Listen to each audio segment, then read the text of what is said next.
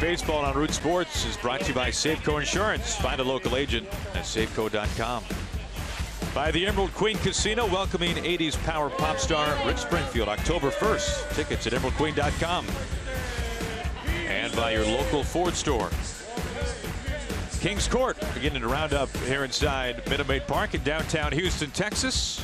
Looking good. Mariners a chance for a series win here tonight behind King Felix. Let's take a look at some scores from around the wild card push that have already gotten underway as the Mariners are moments away from first pitch here in Houston. Tigers leading 5-0. Mike, they have Verlander up on the mound. The Indians clinching the Central last night. A, a party at Napoli's uh, after the game, as they've been saying. And as a result, Abraham Almonte is hitting third for the Indians tonight. You had to figure this score was not going to go the Mariners' way tonight because of the Indians clinching and Mike Napoli throwing the nice party for the team afterwards. Take a look at the updated Delta Airlines keep climbing wild card standings with the win last night and the Tigers lost. The Mariners and the Tigers entering today both two games in back of the Orioles. Baltimore and Toronto beginning the series. The Blue Jays leading 3 to 1. Good pitching matchup. Sanchez versus Gausman in that one. The remaining schedule for those contending right now in the American League wildcard push. Blue Jays will finish on the road at Fenway Park. That'll be a big one, especially with the Red Sox pushing for home field advantage. Four game series in progress for the Tigers versus the Indians. They finish up in the National League against the Braves. Blue Jays and Yankees both on the road for the Orioles. And of course, you know what the Mariners are doing, finishing up at home with four against the Oakland Athletics. First pitch is right around the corner. This is a big one. Mariners and the Astros. The King is up on the bump. First pitch is next.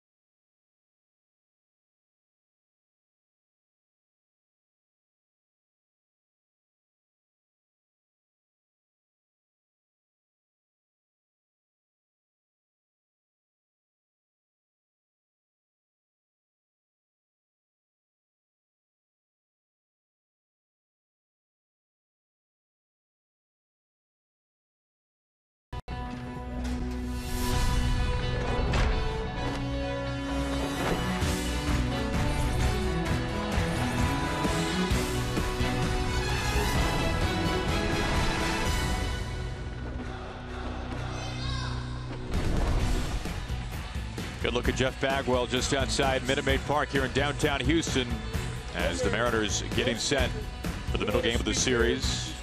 Mike's pick to click. Kyle Seager, a fan coming in as the roof is open for the first time since May the 20th here inside Minute Maid Park. Only the 12th time this year they have played with the roof open, so this is a bit of a treat.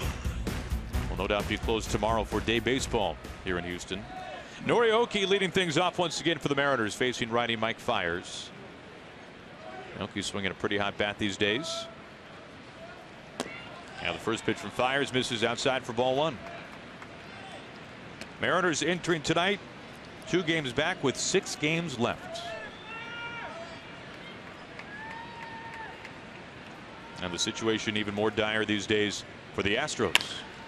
Back to Fiers. One out. Mike, how about we take a look at the Mariners lineup?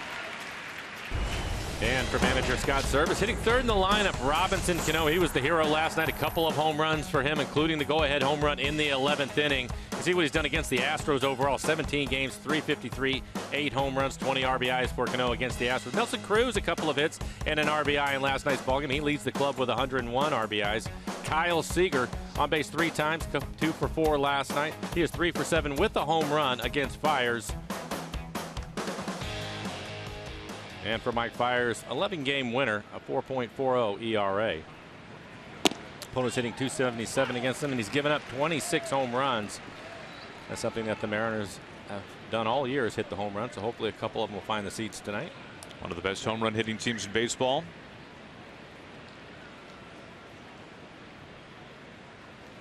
Smith into center field. Marisnick having a charge, and he's able to barely keep his feet and make the catch.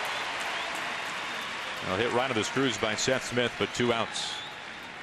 Can't hit it much harder than this. It's knuckling out to center field. Marisnick thought he was going to have to dive for it, but it curved back to him. He was able to make the catch standing on his feet. And as you see, Jake Marisnick in center, he can cover a lot of ground out in center field. Jose Altuve at second base, seven errors on the year for Altuve. Jason Castro will do the catching. He's thrown out 22% of would-be base stealers this year. Four pitches and two outs for Fiers. Now facing well, the Astros boogeyman, Robinson Cano.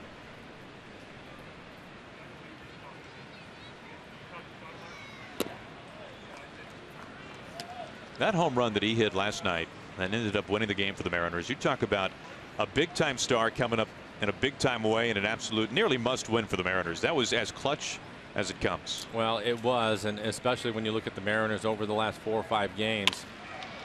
The opposite way into the corner. Kemp was way off the line. And Robinson Cano just continues to get on base against the Astros, a two out double. With the way that he's been going against Houston this year, any other left hander hits this ball, it probably goes foul. But of course, it's going to stay fair for Robinson Cano. He'll pick up a double, had a double in last night's ball game. And his first at bat.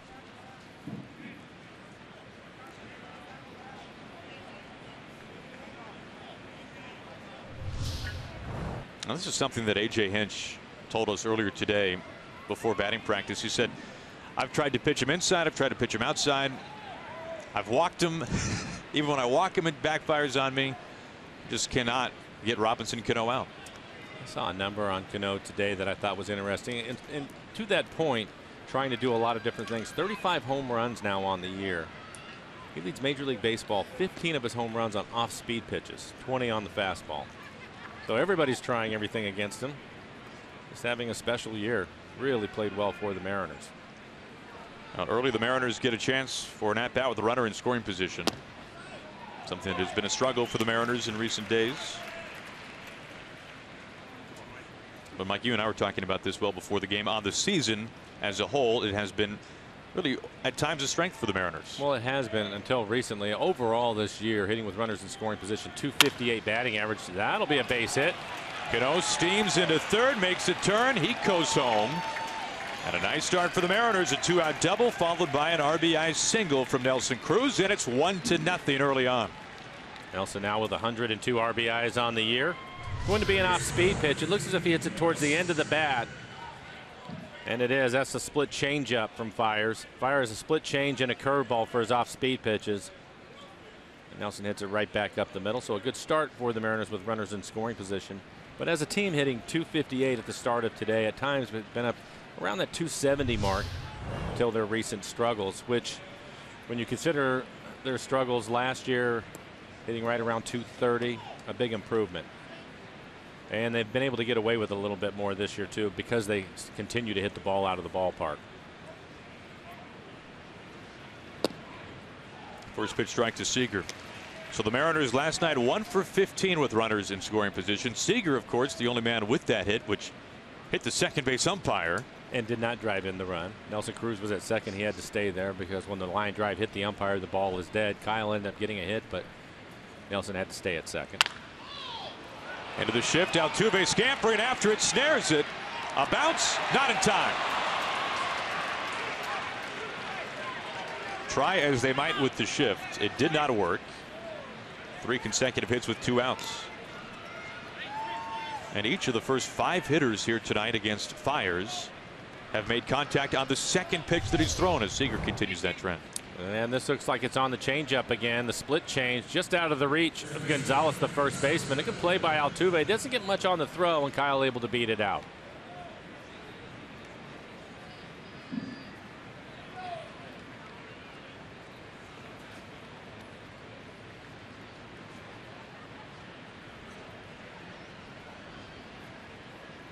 Only today do you see a second baseman making that throw. Only in today's game you see a second baseman catching the ball in that area. First pitch strike to Adam Lind. Altuve still out on the grass towards right field with Adam hitting. Breaking ball is laced the opposite way and foul 0 2.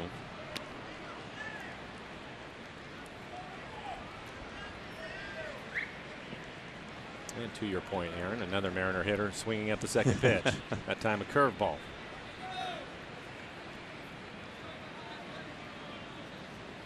Now Fiers for the most part really baffled the Mariners in his last start against Seattle back at home. This was in the trend on the last homestand where we heard Scott Servais mentioning that the Astros were pitching the Mariners backwards. It was McHugh and then it was Fiers. But McHugh didn't really do that quite as much last night. He, he, was using his fastball early in the ball game and the Mariners were hitting his fastball and then he started to change up especially when runners were in scoring position. We saw his curveball a lot more. He had a good curveball last night. He was also using his cutter against the lefties. For Fiers, it's mostly going to be a split change curveball. Against the Mariners in Seattle he went six innings just three hits. The Mariners did not score a run off of him. They were they were able to get to him earlier this year in July here in this ballpark. He went three and a third put four earned runs on him and three and a third. Seager at first base, Cruz at second. The 2 2. Off the hands and foul. And listen to you talk about Scott Servais talking about the Astros pitching the Mariners backwards. Basically comes down to hitters counts. We talk about it all the time. 2 and 0, 3-1, even 2-1 at times, 3 and 2. You expect to get a fastball. Houston did not give in. They were typically throwing their changeup or their breaking ball when they were behind in the count. And then when they were ahead, they were pitching them inside with the fastball. That's, where the problems were coming. And for the Mariners, a team that likes to hit the fastball, and hit the ball out of the ballpark, it, it caused them problems. But the good news is they have a bunch of veteran hitters, and I expected them to make an adjustment to Fiers tonight.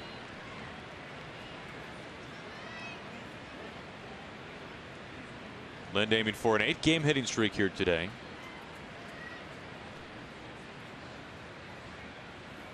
Here comes pitch number seven to Lind. And another foul.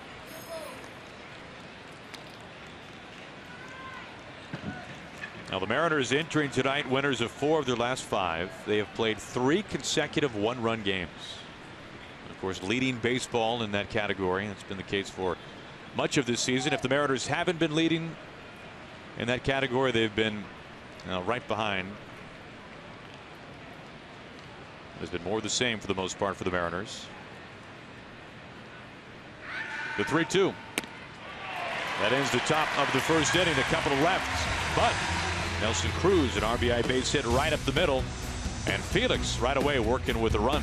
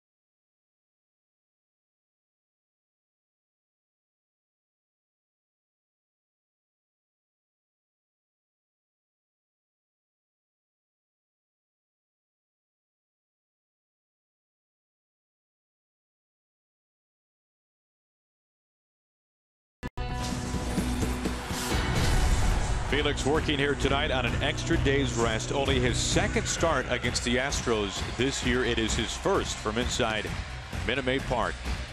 As we take a look at the Astros lineup, is penciled in by A.J. Hinch. And it's really the first four hitters that are dangerous. George Springer leading off 2-5 last night with a run scored. He has 28 home runs in the leadoff spot. Marwin Gonzalez in his career, 306 average against the Mariners. A couple of hits for him last night. Jose Altuve hitting 338 and 210 hits both leads the American League. And Evan Gattis hitting fifth, 31 home runs on the year. That leads the team. For Felix Hernandez, looking for his 12th win, 144 and two-thirds innings, 116 strikeouts, over 63 walks. Opponents hitting just 230 against Felix. Ball one to George Springer in the midst of a seven-game hitting streak. Packs a lot of punch in that leadoff spot with 28 homers.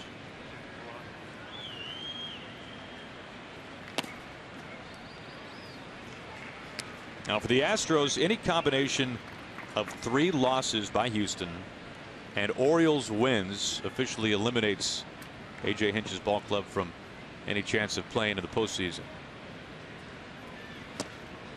Two and one. So if the Mariners win tonight and if the Orioles win tonight against the Blue Jays, the elimination number for this Astros ball club would be one. They could be knocked out as soon as tomorrow.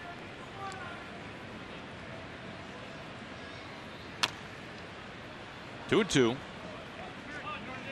And there's the curveball from Felix. Felix in his last outing against Toronto really pitched well. And a reason why I think is his curveball usage went up. Higher percentage with his curveball, 23% in his last outing. And he was able to throw it for a strike early in the count and then bounce it when he was ahead in the count to get the strikeout.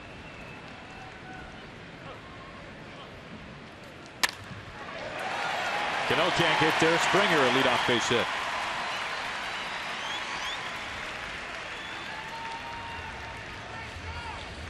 Leadoff man aboard for Marwin Gonzalez. This is on a fastball, 91 miles an hour at the knees, but it is in the middle of the plate.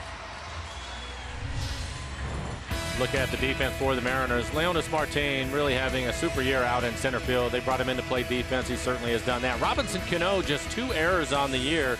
I Time to start talking about him winning a gold glove. Jesus Sucre will do the catching for Felix this evening.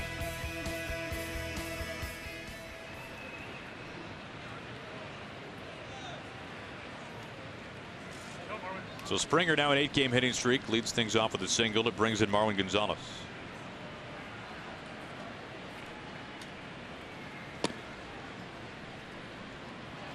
You mentioned that curveball just simply by the numbers in his last start 26 curveballs from Felix his second highest total of any start this year and Scott said today from inside his office that even more than the curveball what he liked from Felix against the Blue Jays is simply how often he was getting ahead of hitters early.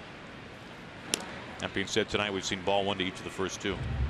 Well, it was also the quality of those strikes, and it doesn't change. We saw it last night with Iwakuma. Early in the count, whether it's the first or second pitch, you have to make a quality strike.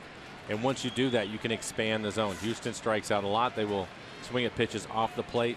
But to get them to do that, you have to be able to get strike one.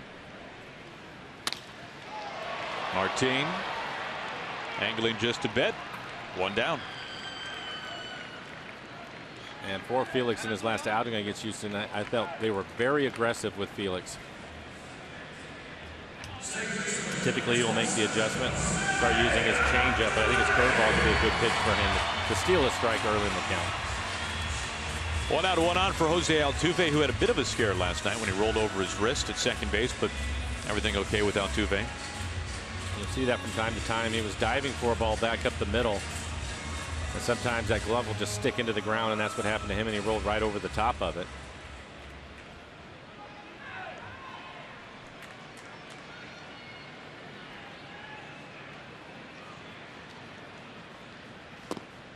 Backs him away, ball one. Altuve, a 500 hitter against Felix in his career, 11 for 22.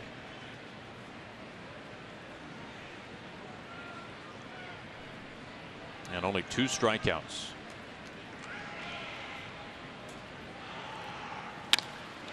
Clubbed out to left. Aoki off the garage doors.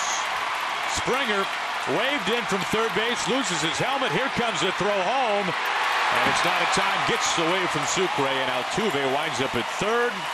We're all tied up.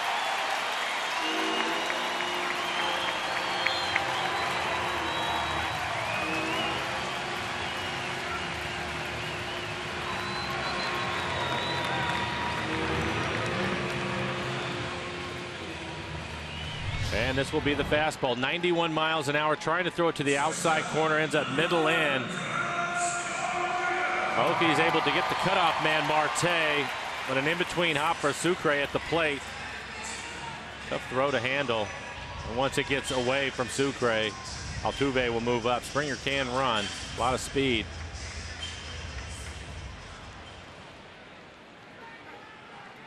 You can see right off the cut of the grass.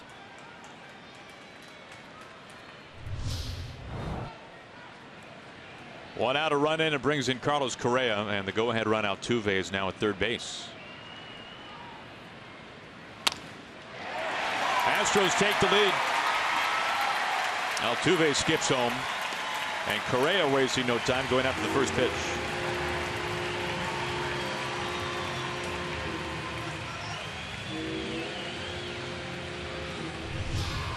Pretty good pitch, curveball just off the outside corner, down. Hits it off the end of the bat, but that is a base hit. You can see his hands out in front of it.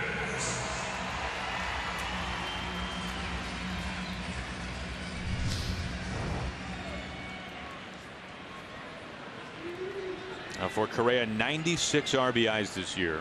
Brings in Gattis.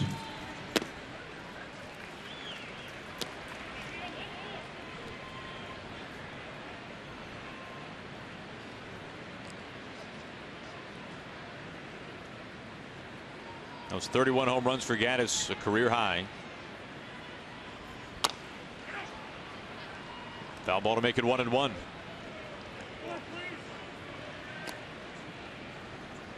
Through the first four batters in the lineup, Felix had only thrown 10 pitches. I threw four of those to Springer, but then Gonzalez on the second pitch, Altuve on the second pitch, Correa on the very first. One out, one on. It's waiting for it. A little dribbler. Seager has no clean grip.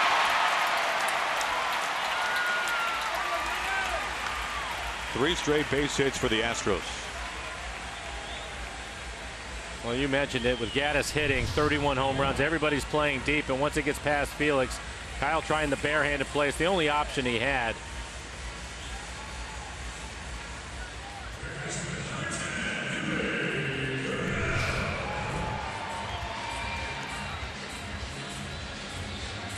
That brings in Gurriel, the third baseman. Remember the last time Felix was here at Minute Maid Park, it was a disaster for the King. He could not escape the first inning.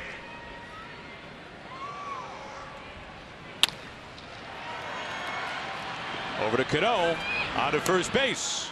And a double play ends the Astros here in the first, but a couple of runs in, and Houston has an early lead.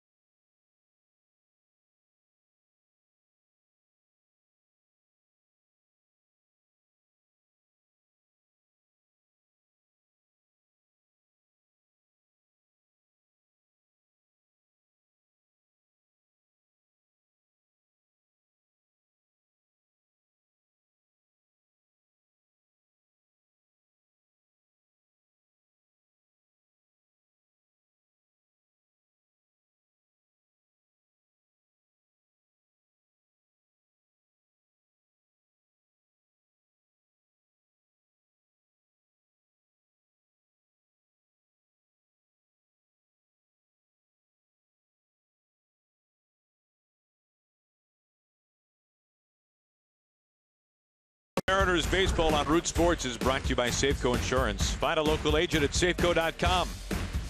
And by Amtrak Cascades. What a beautiful way to travel. Visit AmtrakCascades.com. Astros have taken a 2-1 lead. RBIs from two of the main culprits, Correa and Altuve, now both with 96 on the season. Bottom third of the order due up for the Mariners to face Mike Fiers.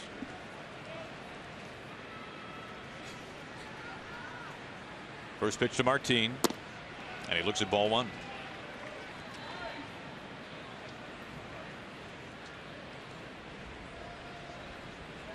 Altuve very deep at second base. Clobbered foul one and one.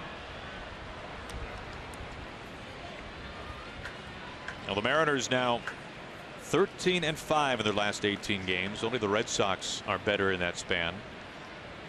Boston a chance to clinch the East with a win tonight against the Yankees.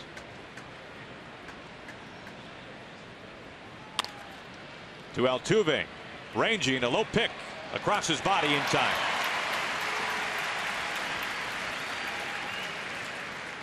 Leadoff man retired. It brings in Sucre. Well, the pursuit of the playoffs continue this Thursday in Seattle when the Mariners take on the A's for a four-game series set at Safeco Field. So let your voice be heard at all four games. Help the Mariners keep fighting. Get your tickets at Mariners.com. What a huge series that will be, and it will be Felix lined up for Sunday, game 162. We hope to see you there. Ball one to Sucre.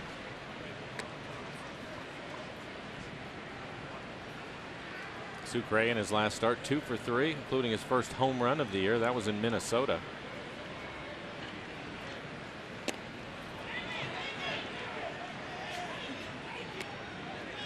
That was just kind of more the same for Jesus recently, hasn't it? It has been. We shouldn't be surprised anymore. The home run was a little bit surprising because it seems that all of his base hits are line drives right back up the middle. And then he finally turned on the ball and hit it into the seats on a fastball that was inside. Now, it is not easy to double over Byron Buxton's head. And that's what he did. Yeah. That's pretty impressive. One out, nobody on Astros on top.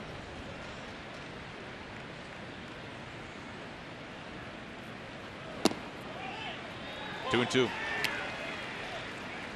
Just clips the corner.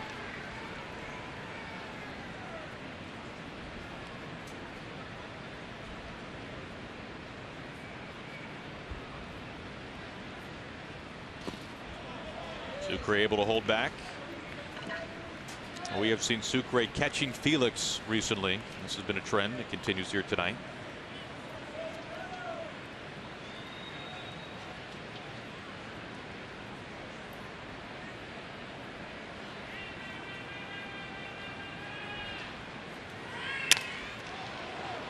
Marisnick charging, and he can't make the catch. 500 hitter Jesus Sucre on base. What's new?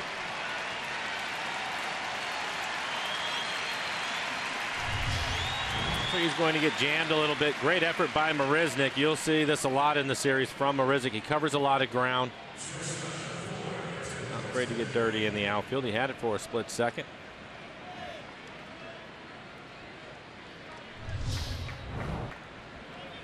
One out, one on for Ketel Marte. Ketel in a little bit of a rough patch these days. Two for his last 23. Both those hit singles.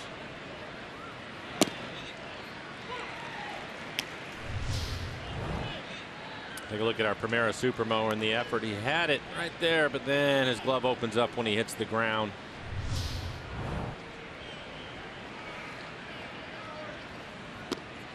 Well, we have seen Marisnick all over the place defensively in recent years, including full out sprawl onto Tal's Hill. He's made some great catches against the Mariners. That was almost another one.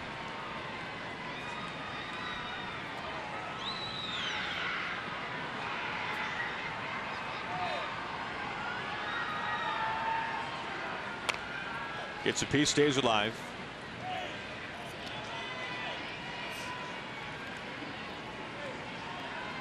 You can see the numbers last eight games for Marte.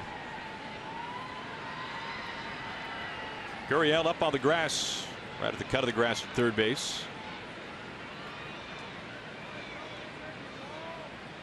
And the 0 2. Castro able to keep it in front of him.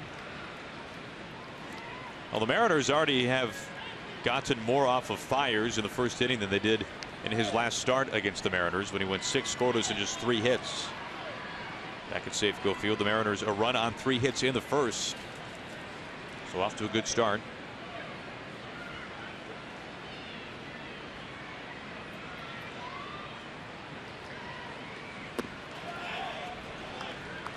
Castro busy behind home, two and two. And here in the early going, Fiers isn't nearly as sharp as he was at Safeco Field, so the Mariners need to take advantage of that. AJ Hinch last year guiding a very young Astros team to the wild card game, then on to the divisional series against the Royals.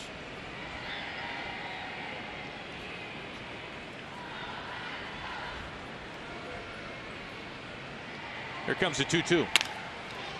Right side and through. Marte finds a hit. Now the Mariners stack a couple of base runners. Sucre into second. That's worked by Marte with two strikes against him. He's able to lay off a couple of curveballs, some off speed pitches, and he finally gets a fastball that he can handle out over the plate. Again, Fiers fastball is going to be 89, 90 miles an hour. Finds a hole on the right side of the infield.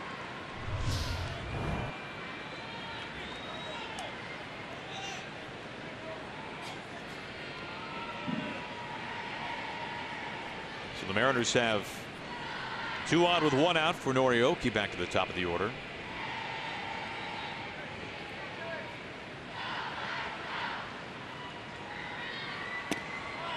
Starts him off with strike one.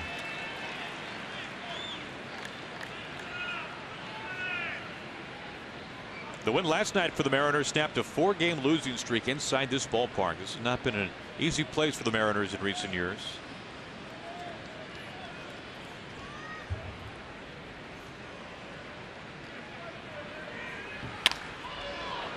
Springer now going back and it's over Springer's head. Sucre coming around he scores. Marte tiptoes and puts on the brakes at third. You do not see this very often over George Springer in right field and this game is all tied up at two apiece.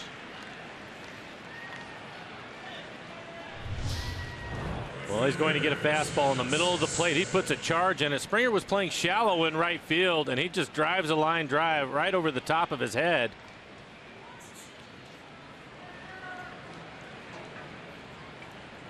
You know, Mike, I say you don't see that very often, but I remember him doing that at Safeco Field as well. Springer, that is, having one over his head. And at that time, I remember thinking the exact same thing. Such a good defender in right. More times than not, we've seen him go back and make the play. You're right about the two occasions, and especially this one today. But to make that happen, one, he has to play in, which he was with Aoki hitting the leadoff hitter for the Mariners. But if you square it up, you don't give him enough time to get back.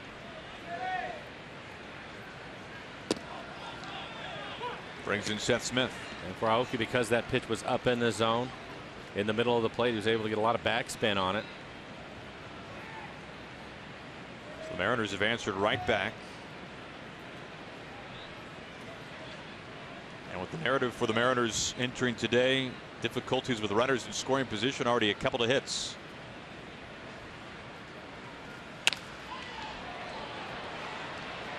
Marisnick camps out underneath it. Marte at third coming home. Marisnick's throw cut off throw to third.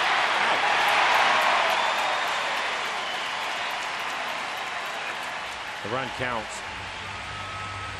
Mariners have taken the lead. Take another look. Good job by Marte. He looked like he was running hard the entire way, and I think he touches the plate before Aoki's called out, and he certainly does.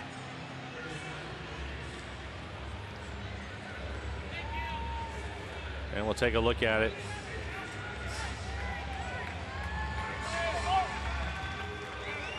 The inning comes to a quick close, but the Mariners strike twice, and they're on top.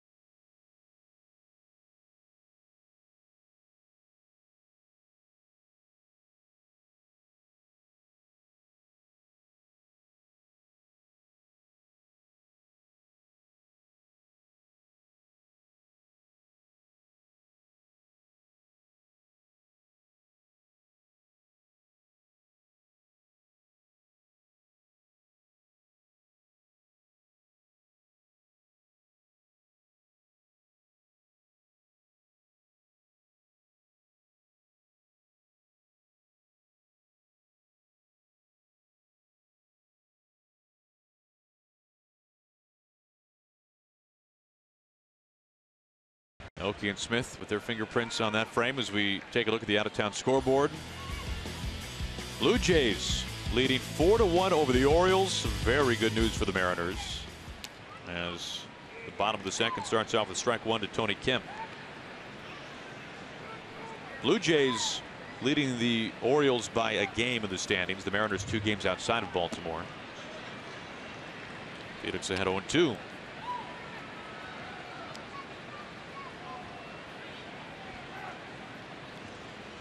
Tony Kemp, a rookie left fielder for the Astros, taking over for Colby Rasmus, who looks like he is done for the rest of the year. Hip issue, among other things.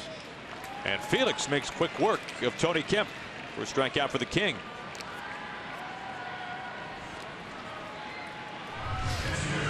Eighty-eight miles an hour right on the outside corner.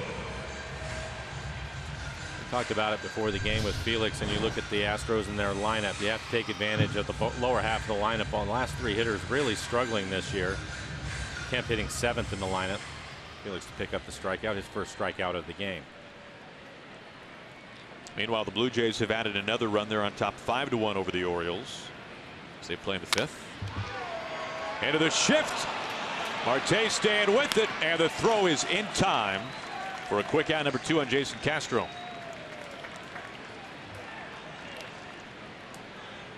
Now time to take a look at our Big Fish Casino big catch. And this play by Ketel Marte. Well, Mariners have the shift on, and Castro hits right into it. Catches it at first. You can see his glove get turned over on his wrist, similar to what Altuve did last night, but able to stay with the play.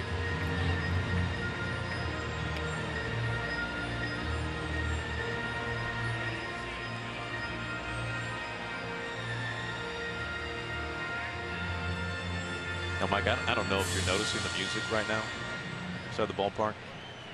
That was the Jurassic Park theme. That is Jake Marisnick's walk-up song. Okay. Jake loves dinosaurs, Blow. This is this is the thing. Oh, okay. It's uh, one of the one of the more unique walk-up songs I would say by a major leaguer these days. So he requested it. Oh yeah, no, this is his thing. He's a T-Rex guy, and who isn't really?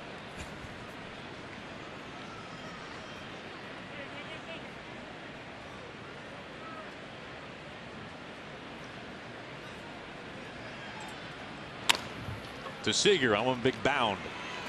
Takes his time. Six pitches. Side retired in order as we go to the third. Mariners on top.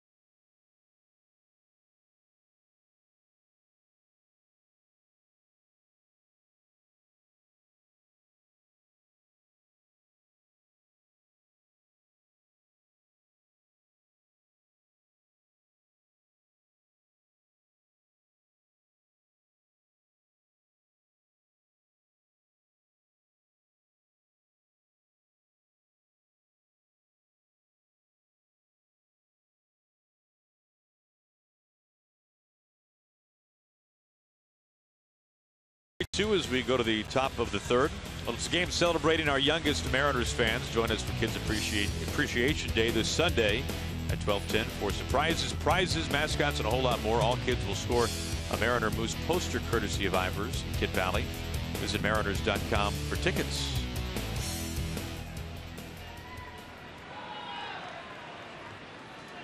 Cano leads off the top of the third looking at ball one.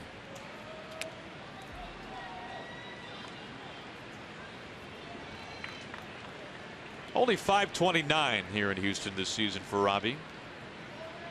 Including a double in his last at bat here tonight.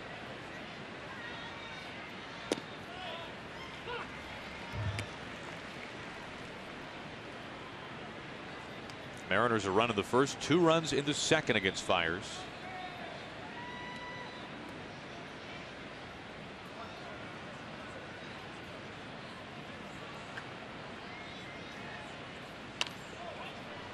Cano behind. Fiers in Robbie's first at bat. Ended up throwing a cutter in on his hands.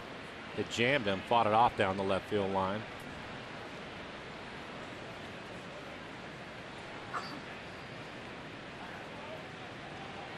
Yeah, Kemp was way off the line and, and left field made it very easy for Cano to coast into second base.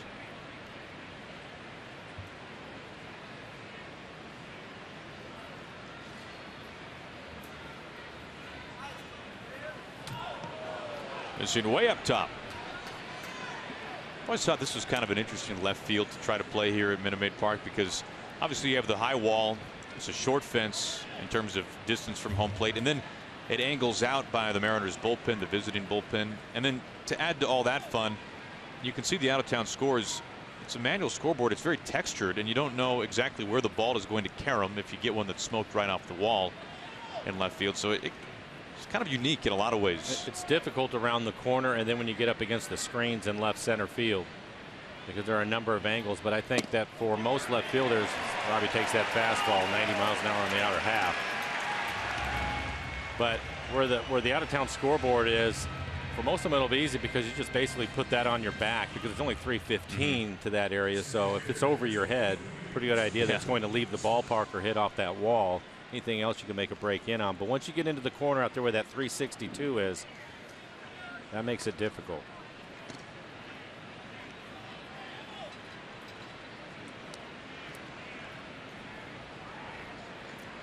Cano is immortal and makes it out to begin the top of the third as Nelson Cruz climbs in. They have the shift on for Nelly. Pulls it foul. Nelson with a base hit and an RBI his first time up. Hit a change up towards the end of the bat, but he hit it right back up the middle. Pick up a hit. And the Astros have the shift on Altuve now on the left side of the infield. First time a Mariners hitter has swung at the first pitch here tonight from Fiers.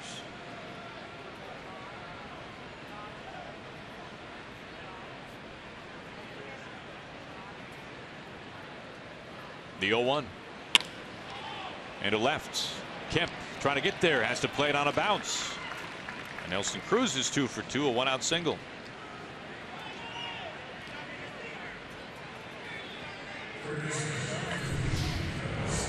Be a fastball. It's in off the plate. It jams him.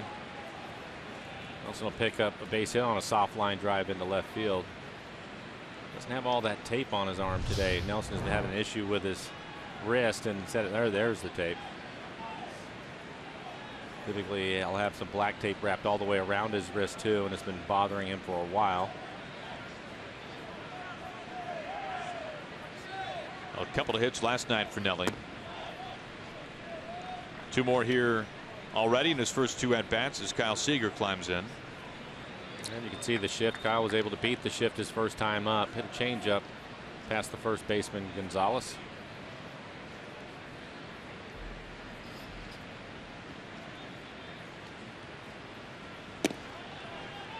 Now you mentioned earlier, Mike, that Kyle was your pick to click. You mentioned that on the pregame show. Is there something about this matchup in particular you like?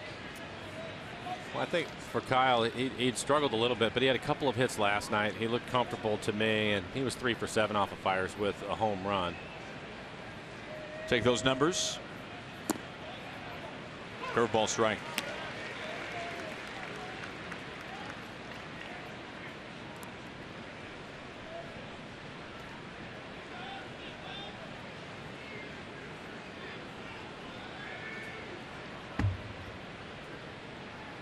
One out, Cruz at first base. We play in the third. Another curve.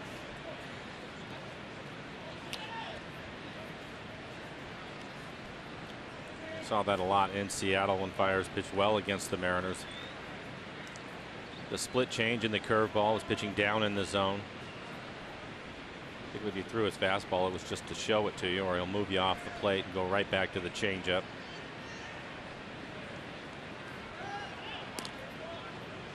Well, the Mariners have a number of individual hitters who have already achieved a career high in certain categories or are approaching that. And for Kyle Seager, his next RBI would be number 97. That would be a career best. Seager drove in 96 back in his All Star season of 2014.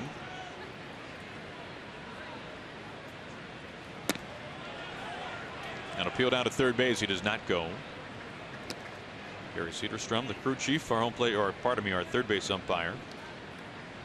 Kyle already with a career high 29 home runs. A very realistic chance for a 3,100 season for Kyle Seager. Cruz is single at first base. And now the 3 2. Kemp in left field settles underneath it. Out number two. Now we take a look now at our CenturyLink What's Next. We hit the airwaves at 10:30 in the morning tomorrow. Day baseball from Houston. Paxton versus Fister. The Mariners really got to Fister this last time out. And Paxton, meanwhile, was brilliant in his last start.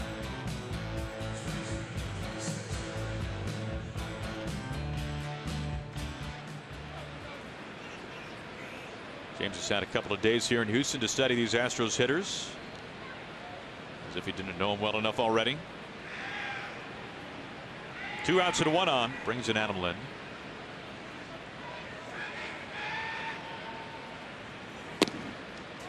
Starts him off with the curveball strike.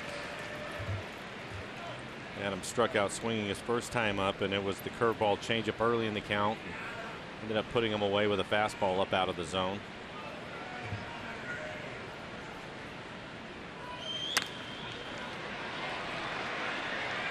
Castro gives this a look, but into the seats. 0 2.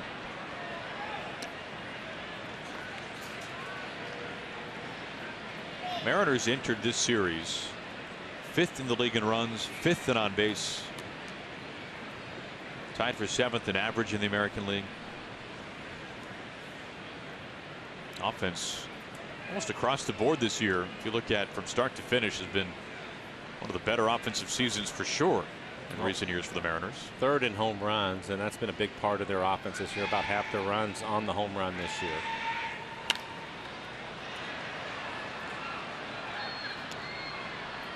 Still 0 2 to Lind.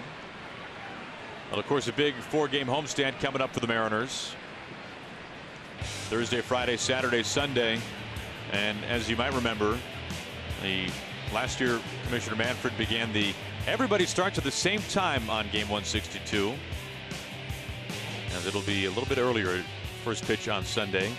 This is a huge homestand for the Mariners coming up, especially given what's going on in the wild card race right now. Marisnick having to chase this back all the way to the base of the hill. Cruz into third base, being waved home. Here's the throw. Castro can't hold on to it. Lind is into third, and the Mariners tack on another run. It's now 4 to 2. Two out run production for the Mariners here in the third inning.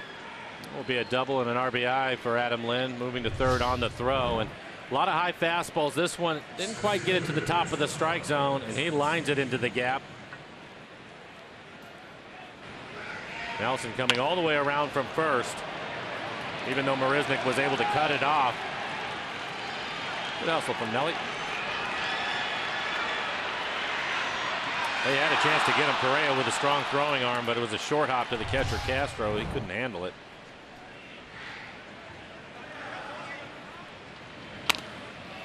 Strike one to Martin.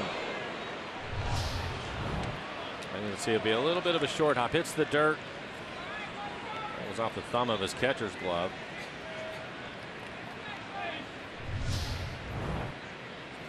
Mariners now lead it by two. And they've scored in every inning so far against Fiers.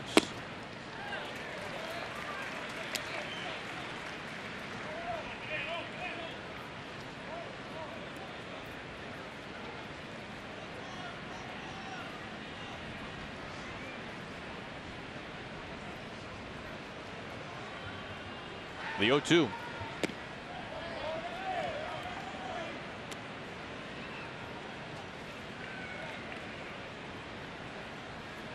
Fiers beginning to approach 60 pitches now with two outs in the third inning.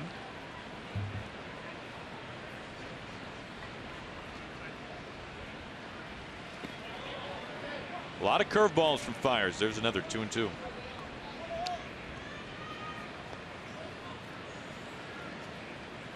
Left-hander getting loose in the pen for Houston. Kevin Chapman.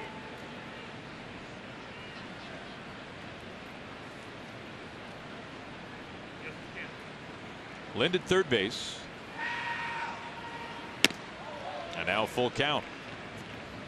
Last week or so, we've seen that a lot with Martin when they get two strikes on him, throwing the fastball top of the strike zone. He's had a tough time laying off of that pitch.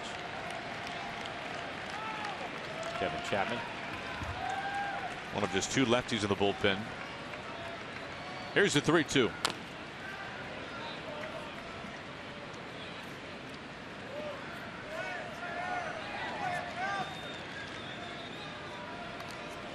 Mariners tonight with two outs are four for five. Mariners getting a run in the first inning with two outs.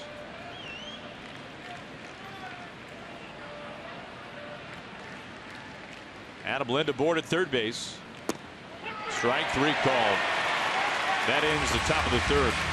But the Mariners grab another run as we go to the bottom of the third inning. Mariners by two.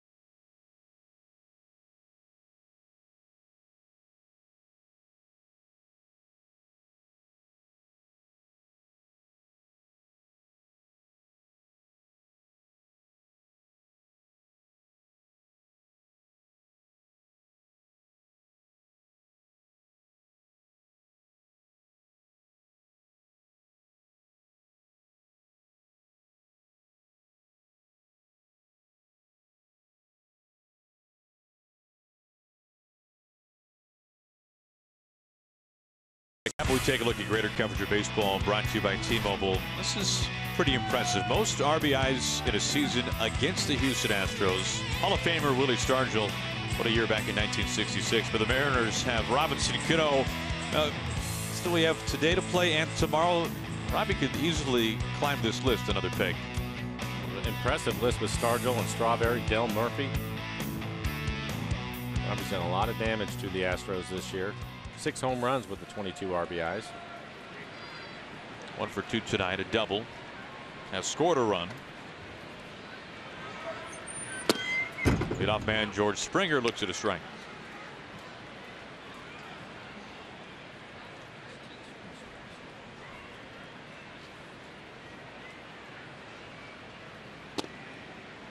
And quickly 0-2 and Felix has begun to find his rhythm a little bit. 11 straight strikes thrown by the King. Well, this will be the challenge for him. Top four in the order. They're the ones that did the damage in the first inning to score the two runs.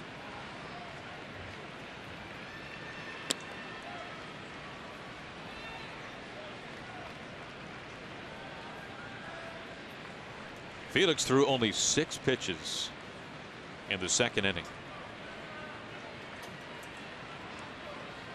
And half of those were in a leadoff strikeout. Martin just coasting back a few strides for a very routine out number one.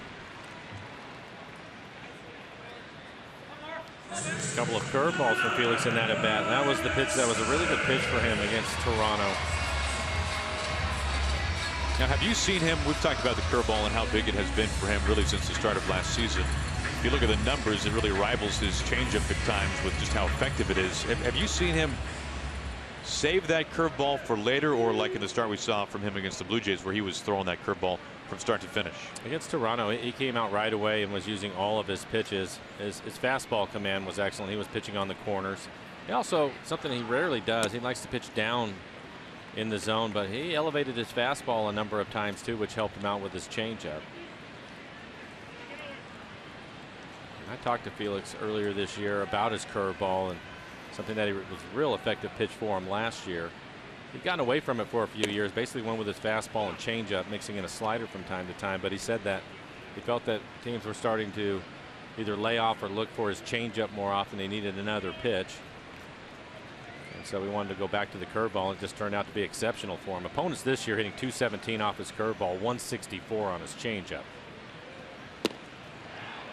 A strike as Gonzalez trying to bunt his way aboard.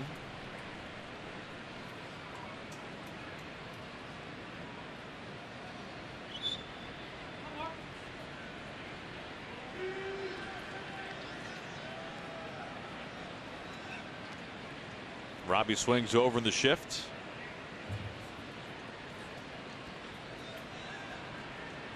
Marte over there as well.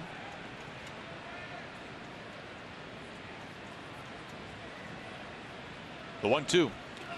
Bunting with two strikes and it hits him.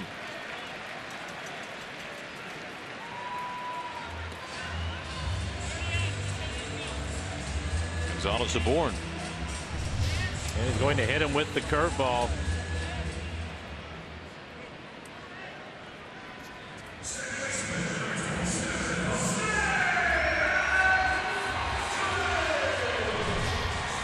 Brings a tie and run to the plate in Jose Altuve, an RBI double and a run scored back in the first.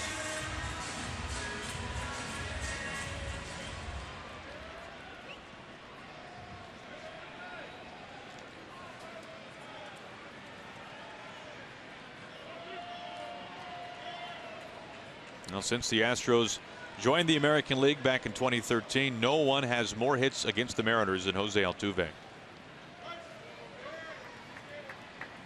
Which does not come as a surprise. One of the best hitters in the game. Does not go around. They appealed out at first base. It's pretty amazing when you think about it with Altuve coming into the game hitting an even 500 11 for 22 off of Felix and he doubled in his first at bat. And you consider that right-handed hitters this year are hitting just 212 off of Felix. You would figure this would normally be a good matchup with him, for him because they have six right-handed hitters in the lineup.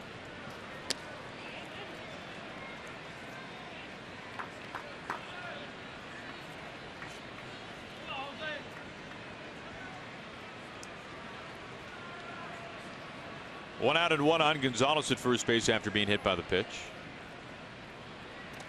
It seemed like a couple of years ago, Mike, when we talked about Altuve and the high batting average and all the hits, we were kind of throwing in the claws.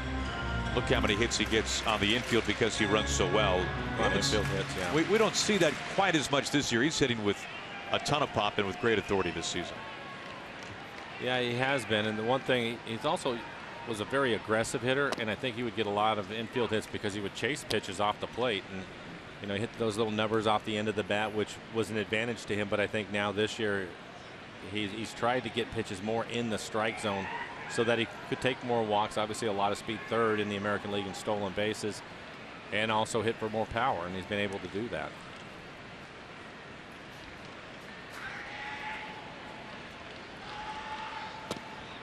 Three and one. Very close.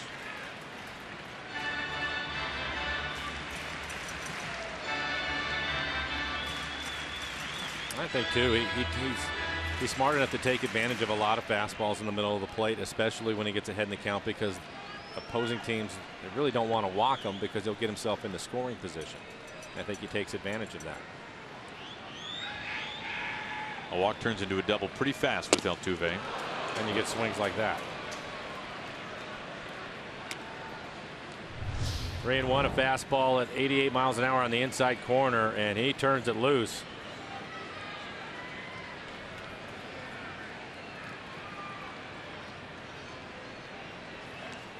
Just drops the kickstand. Now full count. Altuve with 24 home runs, a tying run. So they keep a watchful eye on Gonzalez. 12 steals this year. Has been caught six times.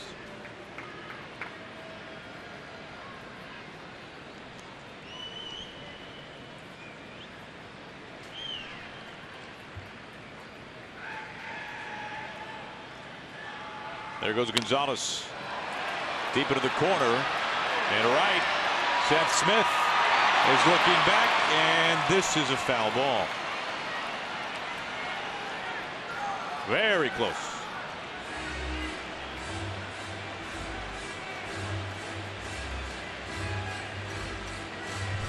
Felix didn't want to give in to him. Comes back with a curveball and a 3-2 count. Right down the line, and it is clearly foul. At the distance.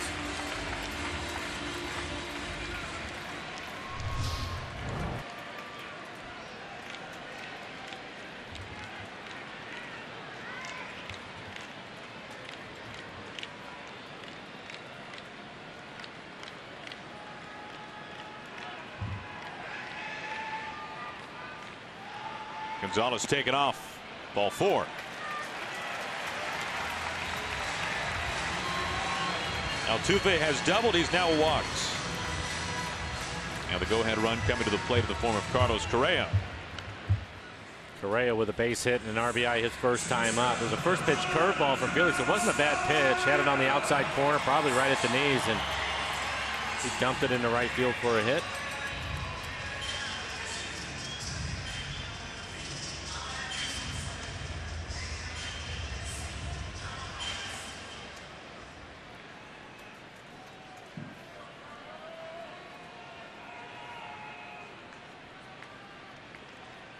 One out now two on.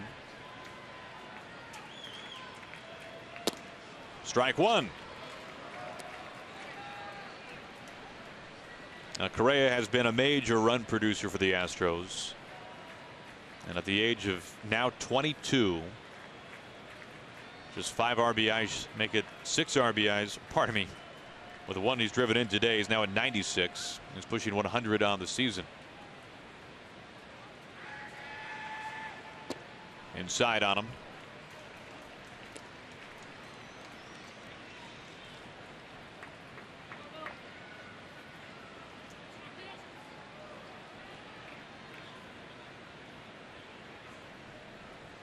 Now the top five in the order have littered the base paths so far here tonight for the Astros. As Felix gets ahead. Something that we've seen from Correa this year, typically with runners in scoring position. He's going to stay in the middle of the field, try to hit the ball the other way. Felix trying to get a ground ball. Get a double play and get out of the inning. Felix on his changeup this year. Opponents are hitting his changeup on the ground at 68%. He got a double play back of the first. And into the inning. Then a very quick second. Astros are making him pay for that here in the third. Two on, one out. And now Felix is one two. To Marte. Over to Cano. And another double play. It gets Felix out of a jam here in the third inning.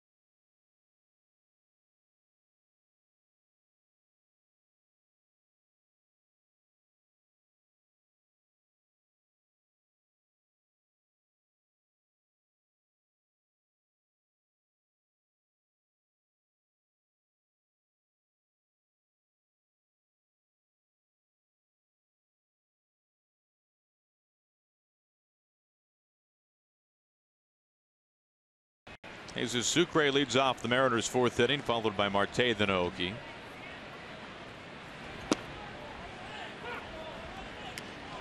Sucre dropped a single into right field, right center field that Marisnick couldn't hold on to his last time up. Later scored.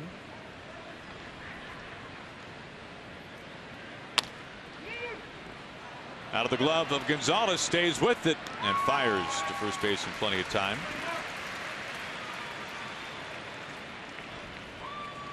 Leadoff man sat down and brings in Marte. Well, the most popular way to follow the Mariners postseason push is with MLB.com at bat, the number one app for live baseball. You can enjoy game day, live game video highlights, StatCast news, and more. Get MLB.com at bat app on your favorite device now. Nelson Cruz's target. We've seen it once already.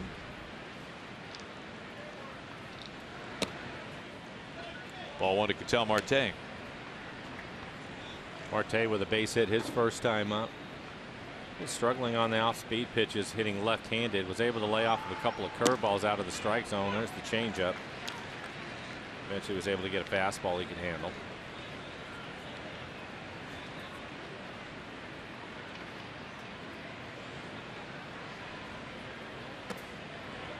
Now ahead of the count.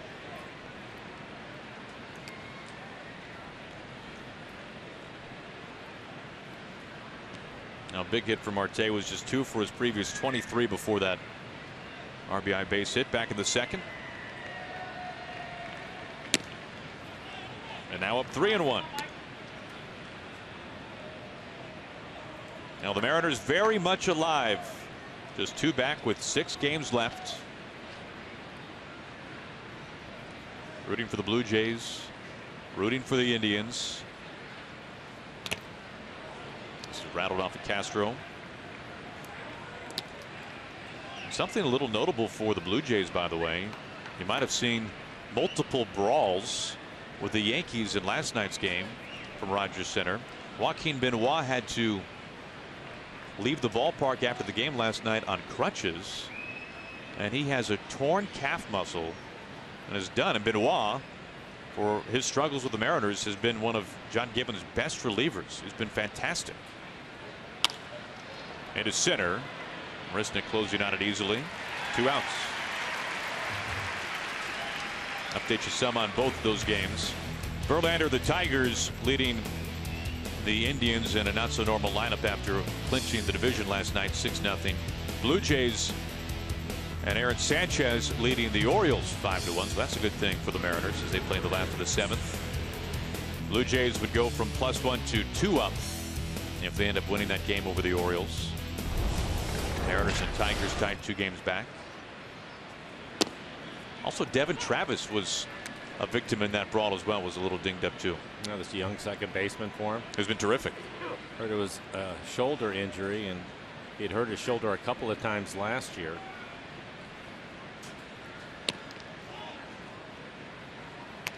One and one to Aoki with two outs.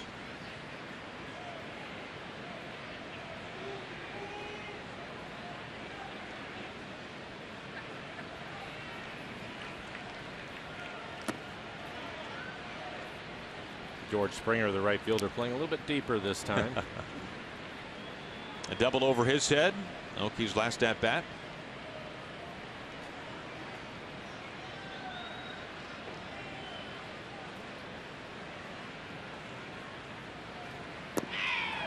Spins around for strike two.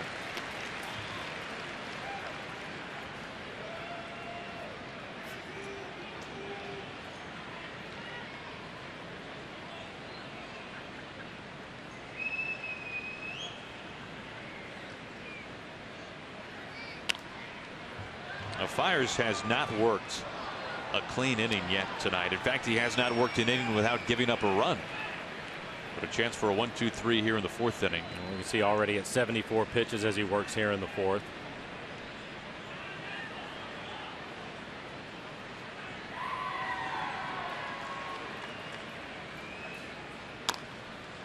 Curveball chopped. Altuve gets rid of it quickly, and it is in time for the first one, two, three frame spun by Mike Fiers. and go to the bottom of the fourth.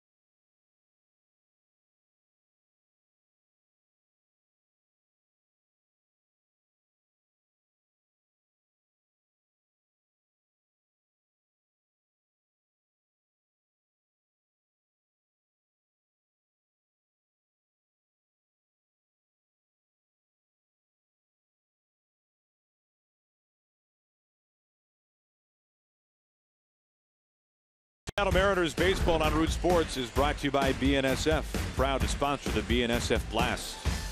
And by CHI Franciscan Health, the Mariners' official partners in health. Learn to stay healthy at north at nwhealthy.org. Now the roof is open. Just the 12th time this year. Now the first time since May 20th here from Minute Maid Park.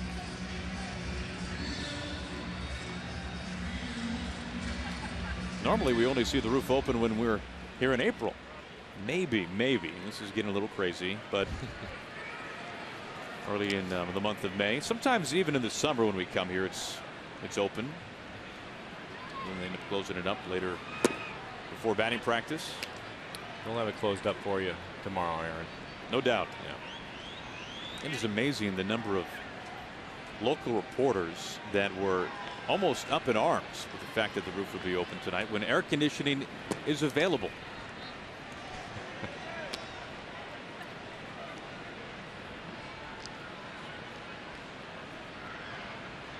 Felix ended up getting a double play ball on Correa to end the bottom of the third inning. It was on his best fastball, 93 miles an hour in on his hands.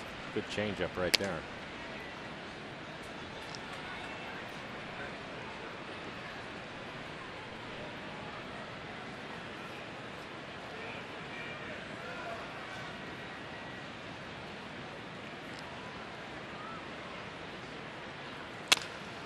To Felix. Easy out number one.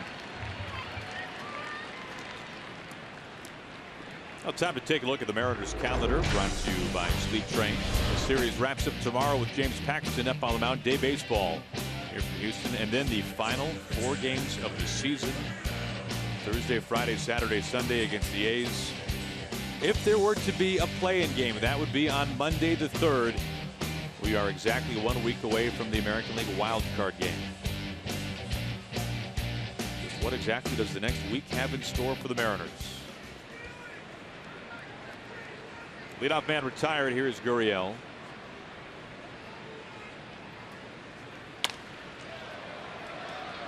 A deep strike one. Felix starting to find the edges of the plate with his fastball. That's a good changeup tonight.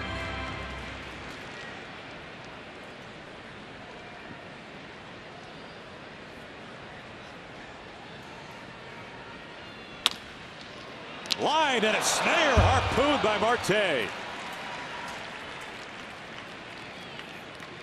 A screamer for out number two. It's going to be a changeup right at the bottom of the strike zone. Drops the barrel on it and a well-timed leap by Marte. That was hit right on the button. We're talking about Dave Valle catching Randy Johnson's high fastball. It was something like that, but you'd have to do it about 40, 45 times in an evening. Hopefully you don't have to jump that high. First two sat down and brings in Tony Kemp. Very quick inning for Felix. He had a six pitch second, a seven pitch fourth for the King.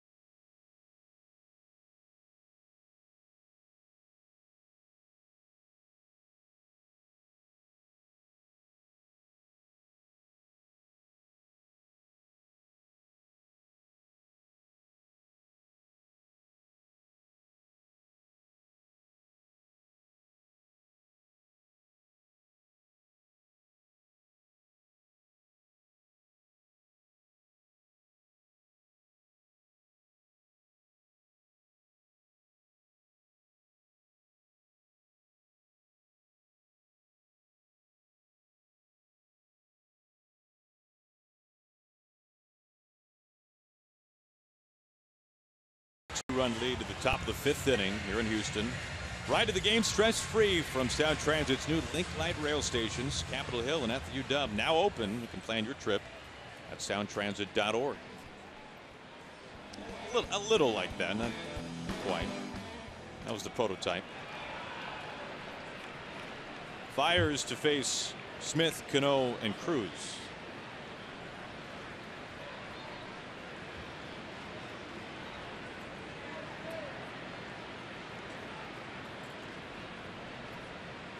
Shift is on for Seth Smith. A couple of good at bats for Seth tonight. Lined out to the center fielder. Picked up a sacrifice fly, RBI.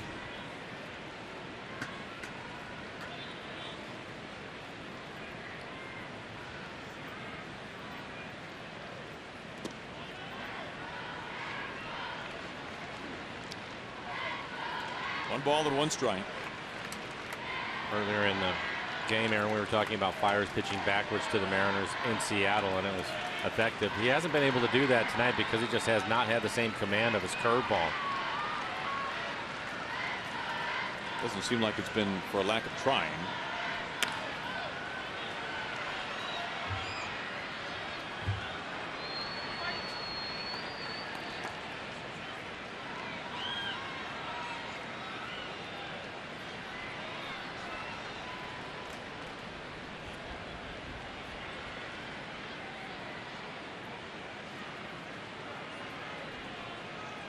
Fiers coming over the deadline last year from the Brewers.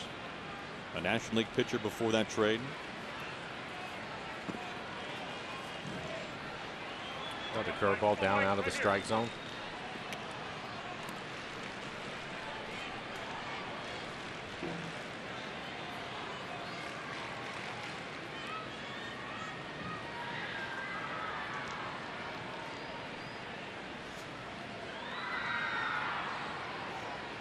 And now the 2 2. Foul for two balls and two strikes. Of course, Carlos Gomez was part of that deal as well. Just never did quite catch on here in Houston. Now with the Texas Rangers, a division champion.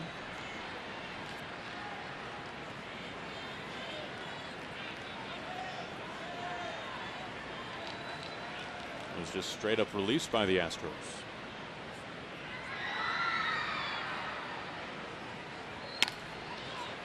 On the weak side of the infield, dropped by Gurriel. Smith retired.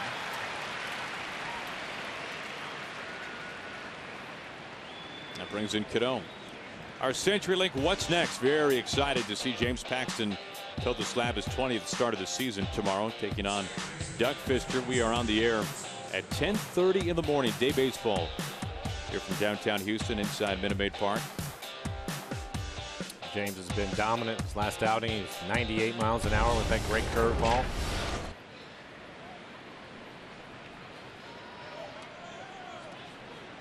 Now Cano actually made an out in his last at bat. Was caught looking at a fastball. Double and a run scored back in the first inning.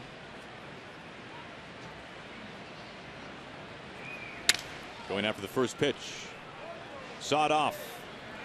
Seen that a couple of times from Fiers too. Robbie throwing that cut fastball right around 86, 87 miles an hour in off the plate. Now, we mentioned that we had a chat with AJ Hinch today about Robinson Cano. This is one of the things that he referenced. And we've heard this from AJ before this season that Robbie is such a difficult guy to know exactly how to pitch to because he can do what we just saw go after the first pitch. And when he has done that this year, he's been wildly successful both in terms of the average and the damage, especially the home runs. Or we see this all the time, Mike. He can go up there and he might as well not even have a bat in his hands. He's as still as a statue. And he's already done that tonight. Yeah. Mm -hmm. So you just don't know. And when we talked to Robbie about it, he just smiled and said, so it's working. And that's all he would expand on it. Oh, apparently.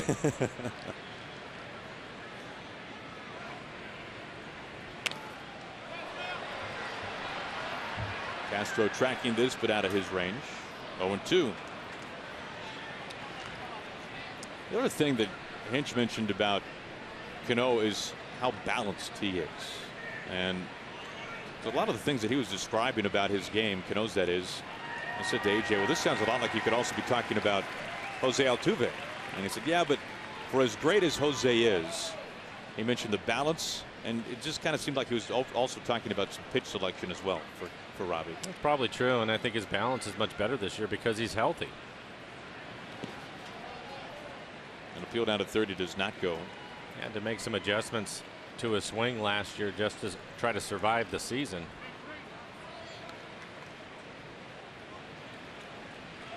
It's been nicked up a little bit this year, but nothing compared to what he had to deal with last year.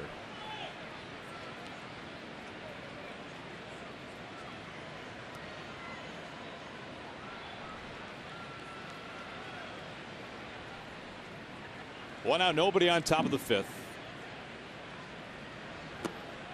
And Cano strikes out for the second straight at bat.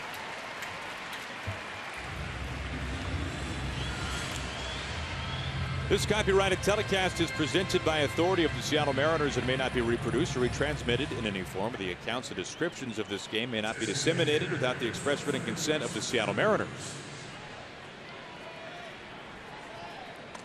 Bring up Nelson Cruz having a good night, two for two. He's picked up an RBI.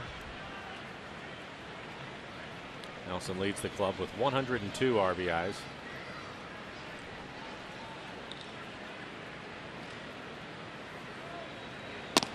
And you could see early in yesterday's game, last night's game, Cruz really grimacing and then was able to pick up his first hit in the eighth inning. Ended up with two hits last night. And since the eighth inning last night, Nelly four for his last five. And you can see that hurts him.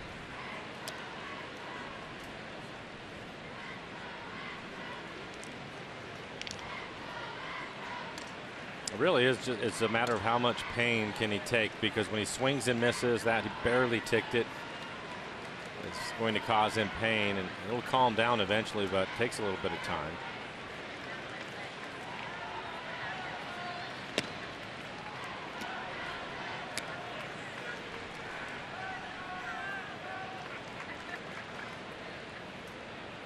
Nelly one of six major leaguers now with 40 home runs this season.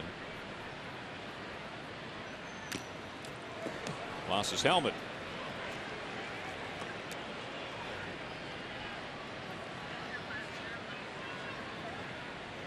I'm wondering with the way that he spun around, you, you never see that from him.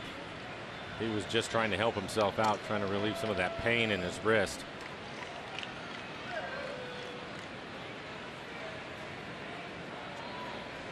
Has to be more difficult, hurt more on pitches that are up in the zone.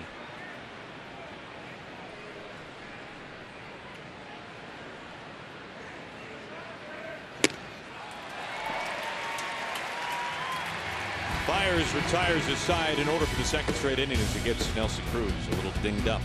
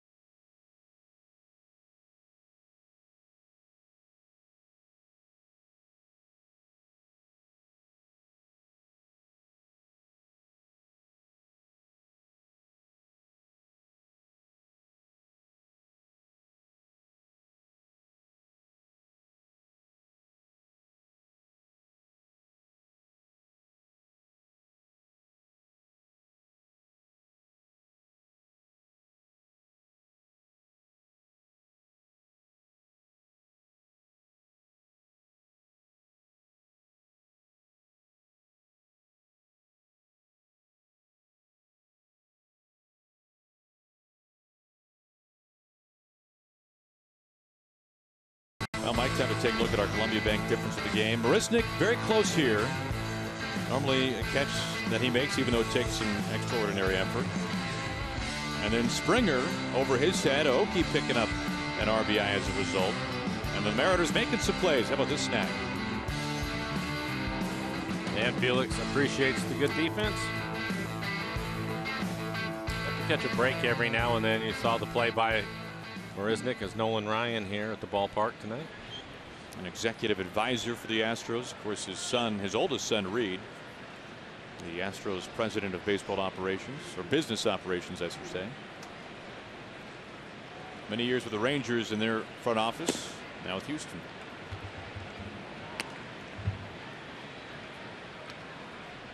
Castro leading off the bottom of the fifth.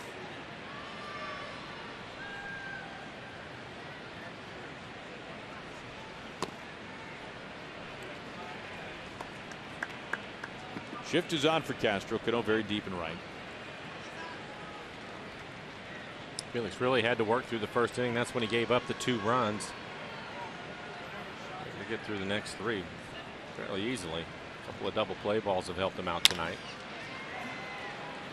Cano charges in right field and throws to first base in time for round number one.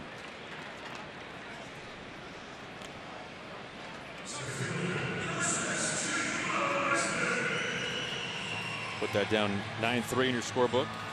Here's Marisnick. Now Marisnick last year, Mike, we saw him early in the season.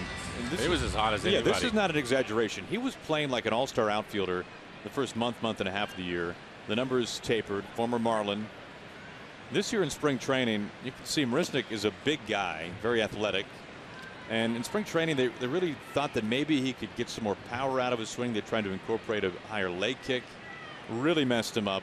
Did not have a good spring as, a result. Struggled in the early part of the season. And it just kind of seems like he's had a hangover effect from that ever since he enters tonight batting barely 200. So he needs a new plan and needs to put in a lot of work this winter.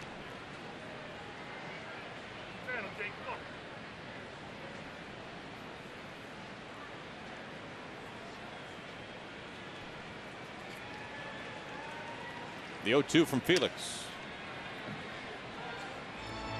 There's an elevated fastball from Felix, 92 miles an hour, right at the top of the strike zone. Again, against the Blue Jays, he pitched so well, and he did that a number of times in that outing.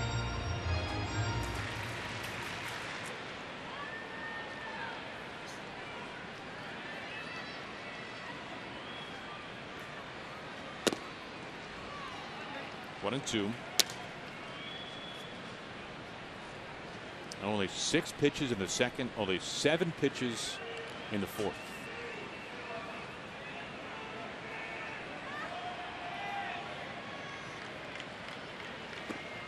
Gets Marisnick spinning around like a top. Comes in with the curveball, two outs. And the second strikeout for Felix.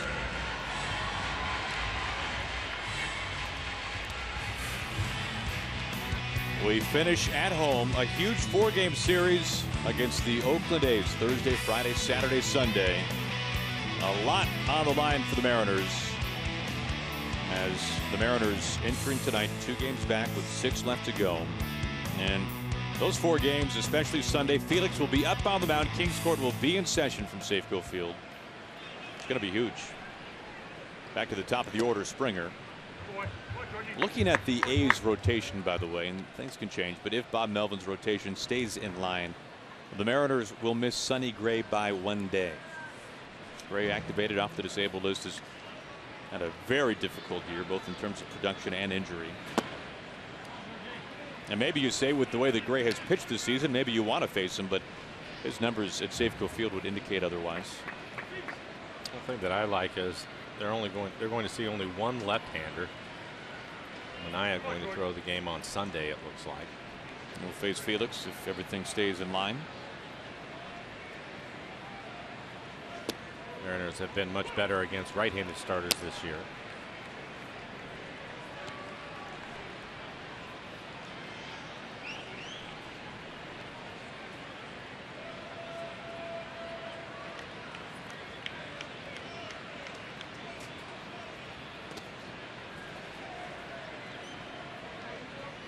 Well, suddenly a rare three ball count from Felix, his first since walking Altuve back in the third inning. Marwin Gonzalez waiting on deck. He was hit by a pitch his last time up. Felix hit him with a curveball.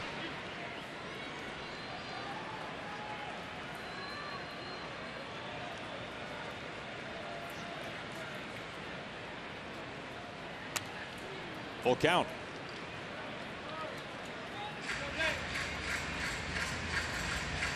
Felix making only his third start against the Astros since the beginning of last year.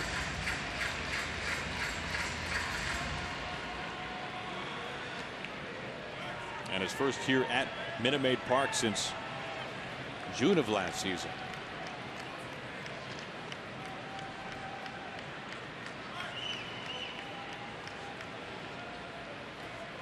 The 3 2. Springer just flicks it into right field. Two for three tonight. That comes with two outs. Well, you're going to have to give him a lot of credit for this. This is a curveball. It's down out of the strike zone off the plate, and he's able to stay with it just long enough. Keeps his hands back. Kind of flips it into right field. But a pretty good pitch from Felix trying to get him to chase that curveball. He was able to do it, but unfortunately it turned into a base hit.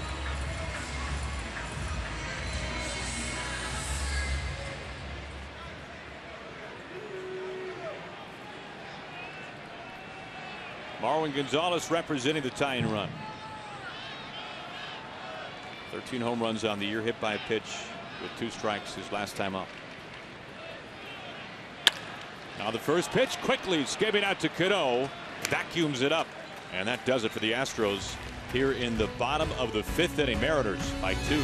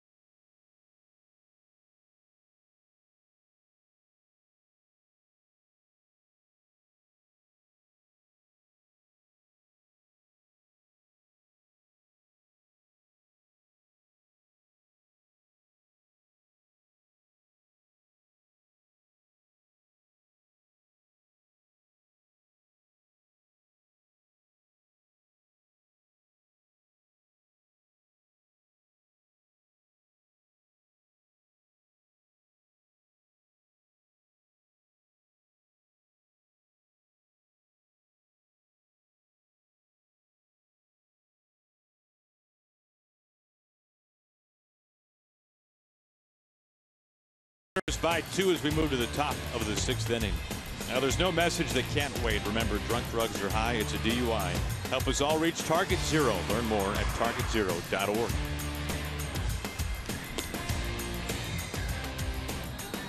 Five innings. That's it for Mike Fiers. He is done for the night. Take a look at his final line. Had to throw a lot of pitches to get through five innings. Five innings, eight hits, four runs. They were all earned. Didn't walk anybody. Five strikeouts, but he had to throw 90 pitches to get through the five innings. Kevin Chapman going to take over. This will be his seventh appearance. ERA just above five, only five in the third for him so far. Good fastball, right around 91 miles an hour.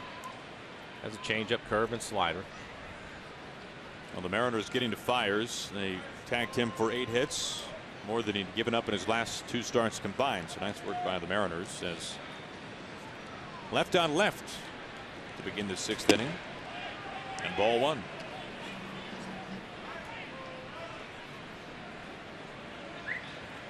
Kyle Seager one for two.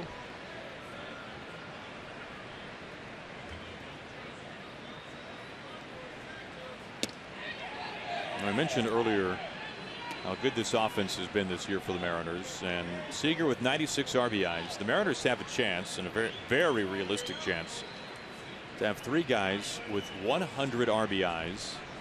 It would be the first time the Mariners would do that since 2001. Of course, Nelly now with 102 on the season, including one earlier tonight.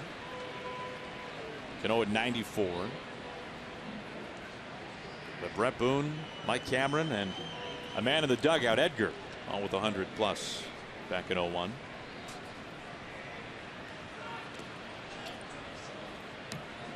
Well, good count for Kyle. Still looking for his 30th home run on the year.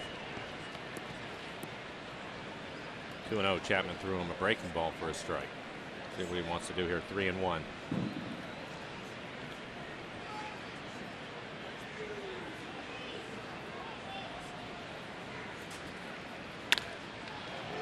Slicing out to Kemp in left field. One down.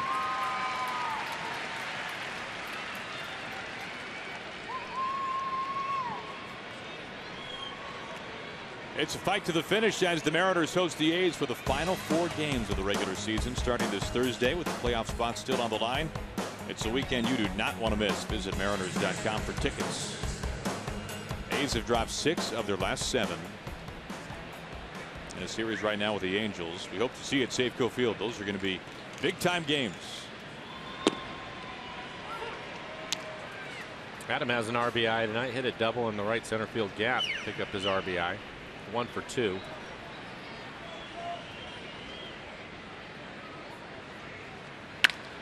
Tomahawks this out to center in front of Marisnick and a one out base hit.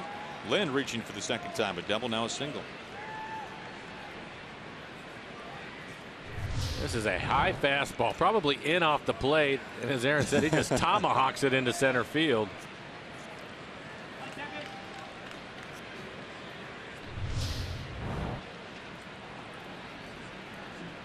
Now Mike I know you're you're big into the numbers. We, we talk we talk about this all the time before the game lunch dinner you're, you're number you are a numbers guy Mike. You enjoy these things. Where are you going with this Aaron? High pop up. Can't say this often. Can the wind take it out? It's a couple of rows deep. Came across a stat today that was absolutely mind blowing about your former teammate Edgar Martinez. So much talk all the time about Edgar, David Ortiz, greatest DH of all time. You know, it is possible for both of them to be really good, and they both are incredible hitters. David the award Or named after Edgar. Absolutely. Yeah. David Ortiz, Mike, would have to reach base safely 658 times without making an out in his final few games of the regular season to pass Edgar for career on base percentage. I think about that. I don't like his chances. and when I was looking at Edgar's numbers for his career, and you think about on base percentage. And we've talked about Edgar. The only time Edgar ever struck out 100 times in a season was his final year when he was 41. His on base percentage that year was 342. So pretty good work by Edgar in his final year. Got a pitch and change. Two on, one out, top of the sixth.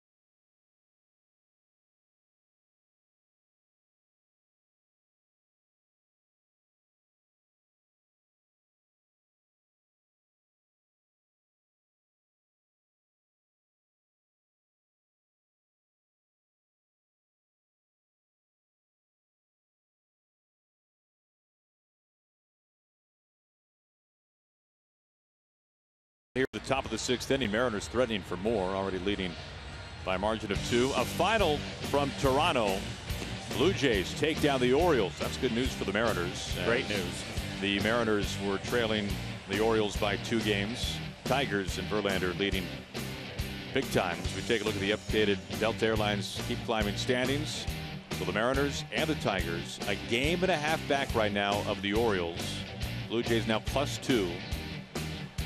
And at this point, you're hoping for the Blue Jays just to keep knocking the Orioles down a couple of pegs. Here is Jandel Gustave. Just his 12th appearance, 3.65 ERA. Good fastball at 97 miles an hour and a slider.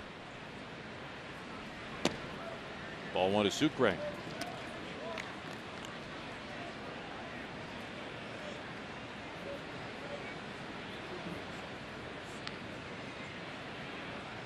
Aaron Sanchez, by the way, the starter tonight for the Blue Jays with 10 strikeouts facing the Orioles over six innings. So fine work for Sanchez.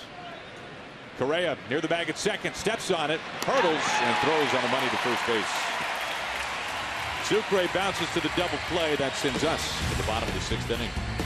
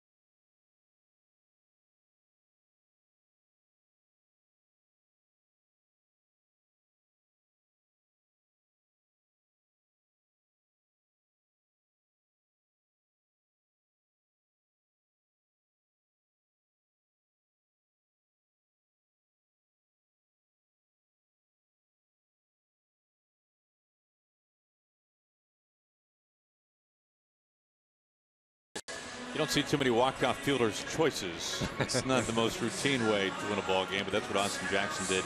And in terms of Felix, Mike, if the Mariners needed him to pitch further, deeper in the game, as Jim mentioned, he was pulled after the score from Texas came out. Felix looked like he would have struck out 15. He was on fire.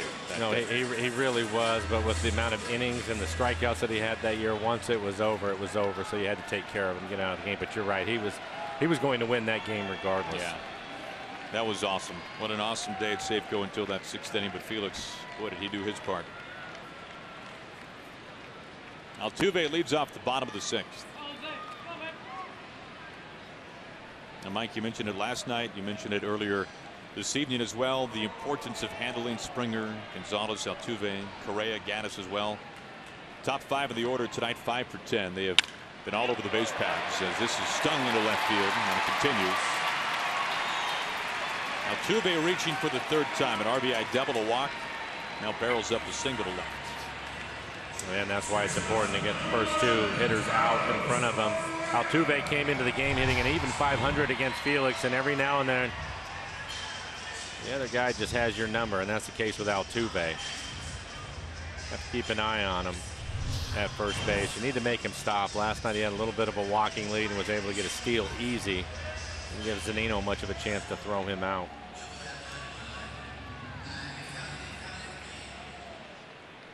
Tying run is Carlos Correa with 20 home runs, 96 RBIs.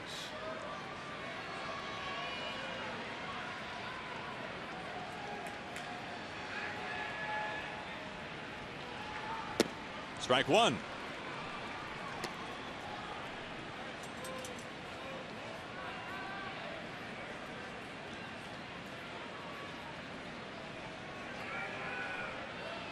Correa an RBI single back in the first, a double play ball in the third.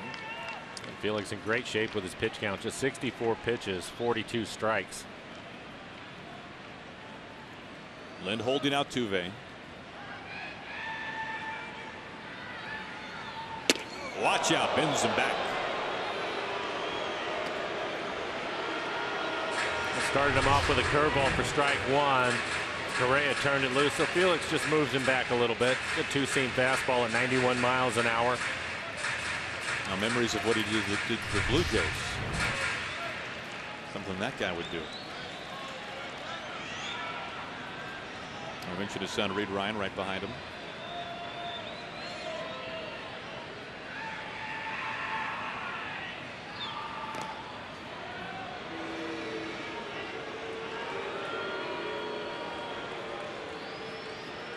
Astros threatening here in the bottom of the sixth.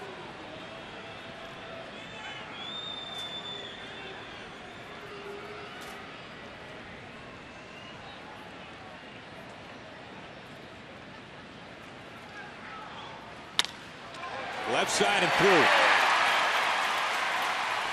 Tie and run on base. And the go ahead coming up. Back to back singles to begin this bottom of the sixth inning. This is the base hit on his changeup. It's down at the bottom of the strike zone.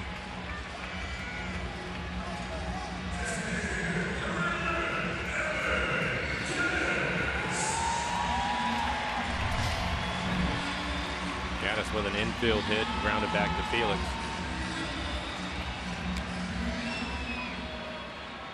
Top five of the order now seven for 12 tonight.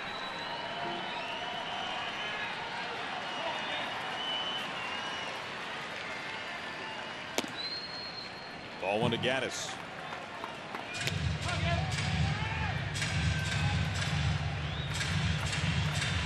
Astros just one for three with runners in scoring position.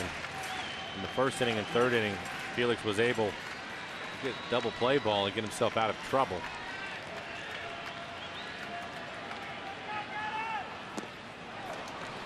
Now one and one.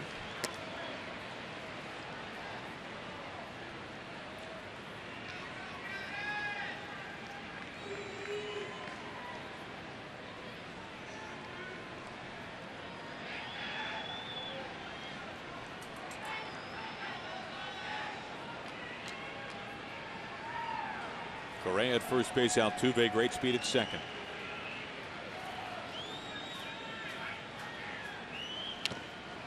And Felix ahead of the count. Took a bite out of Sucre.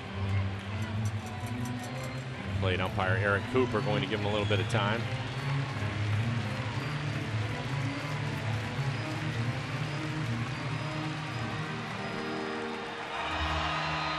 Talked about it with Felix earlier in the game and his changeup. It's been his best pitch for a long time. And typically when he's trying to get a double play, he'll use his changeup. Opponents hitting it on the ground 68% of the time.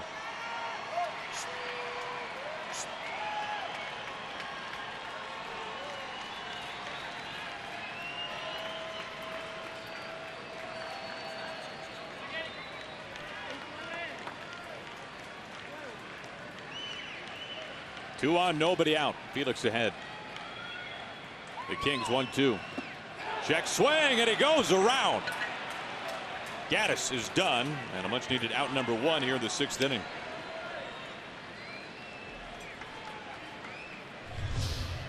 Felix working down out of the strike zone. Looks like a curveball.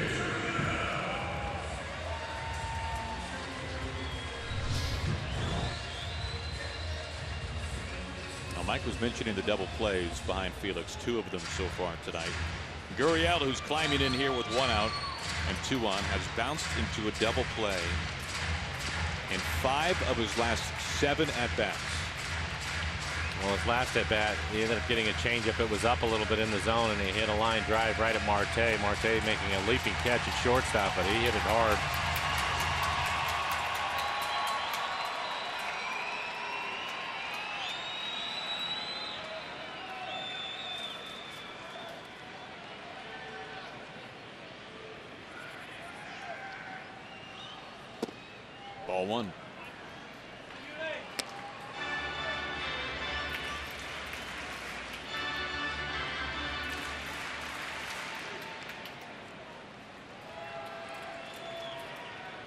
Felix went three innings in a row tonight without allowing a hit.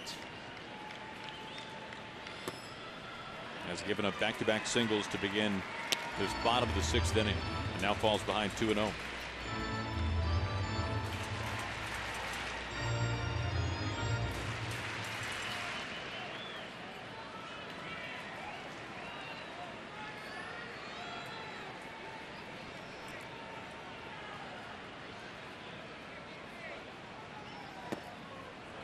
Three and nothing.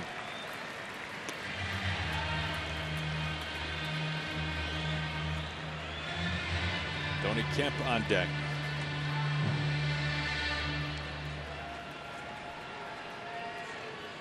Bottom four of this order beginning with Gurriel at the plate right now hitless so far tonight. Felix trying to keep that in order.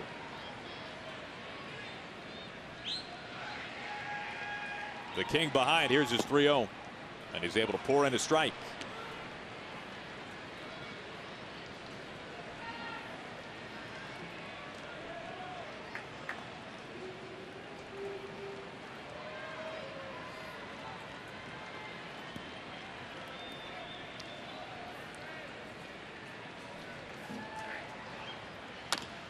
In play.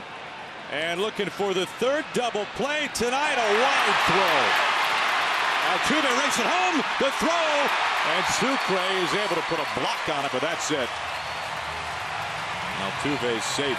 He scores, and the Astros are within a run.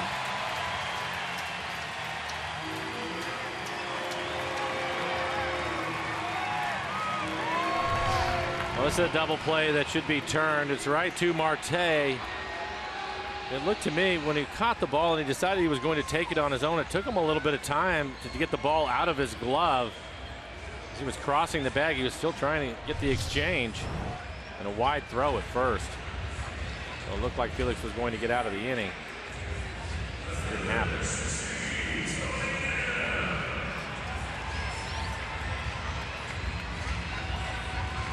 Now Felix got what he wanted, got the double play ball.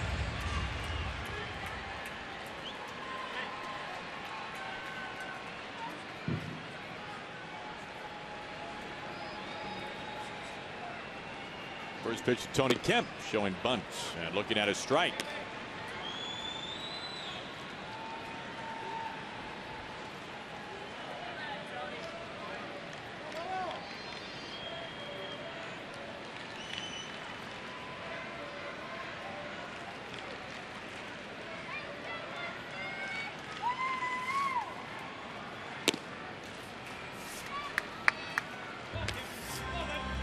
At first base representing the tie and run.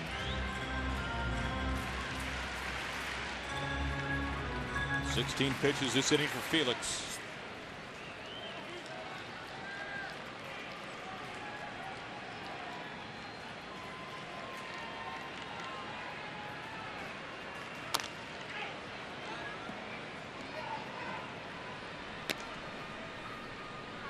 Astros scoring for the first time since getting two runs across in the first.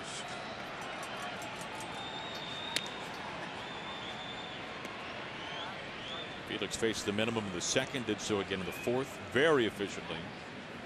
One of the things that we talked about yesterday, Aaron, in this season long matchup with the Astros, the Mariners making quite a few more errors than Houston, and that's been the difference in a lot of unearned runs.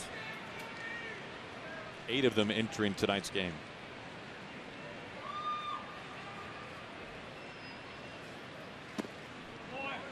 Fact, entering this series, 14 errors for the Mariners, eight leading to eight unearned runs against the Astros this season. And when you look at the head-to-head matchup, three, and just three for Houston. Right, and you look at the head-to-head matchups, the runs per game were pretty close for a series that has been somewhat lopsided for the Astros. They'd won 10 of the 16 entering this series last night. Well, when you consider how many one-run games the Mariners yeah. play, that makes a huge difference. For sure.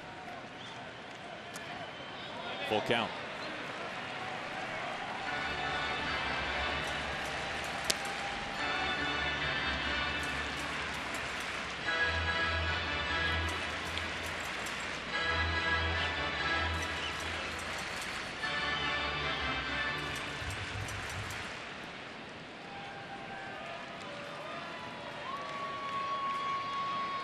Felix trying to send this one to the seventh. The 3 2 to Kemp. Walks him.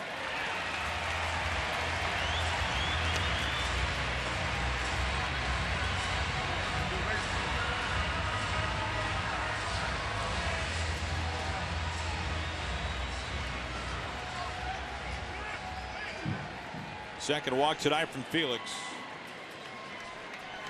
Bregman going to pinch hit. And Mel Stottlemyre making a trip out of the dugout. Felix now at 81 pitches.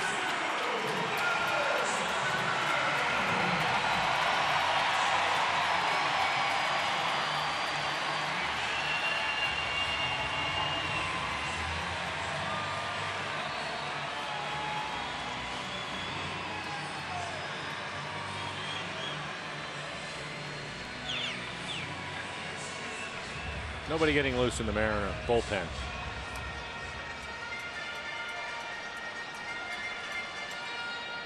Now Bregman, who has been injured this year with a hamstring, took batting practice today. Also went through fielding workouts.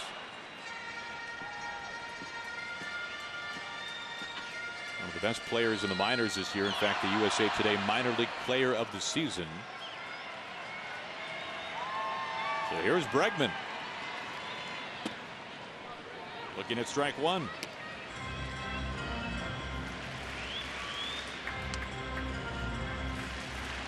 Safe to say this is a surprise to see Bregman here. He's playing for the first time since September 14th. He's not even on the roster. 0 2. And it was the hamstring injury that he suffered before the Astros were last in Seattle, which kept him from facing the Mariners. So here he is. Someone A.J. Hinch described as one of their best players. The 0 2.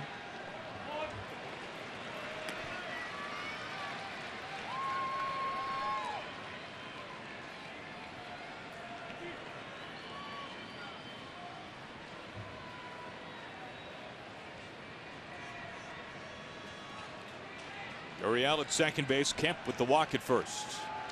And run at scoring position.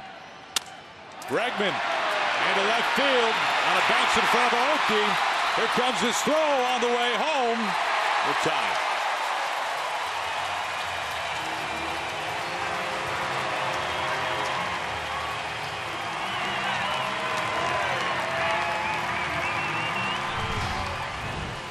Get to this point in the season and those extra outs will hurt you. Pretty good pitch by Felix. It was a curveball down out of the strike zone. Bregman hits it off the end of the bat, but able to get it into left field. I mentioned that hamstring for Bregman. He gets lifted for a pinch runner, Max Stassi. So Stassi running to first base.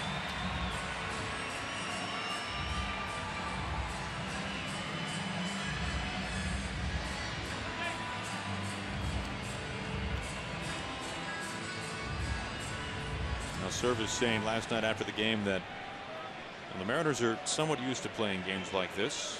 Nobody said it'd be easy.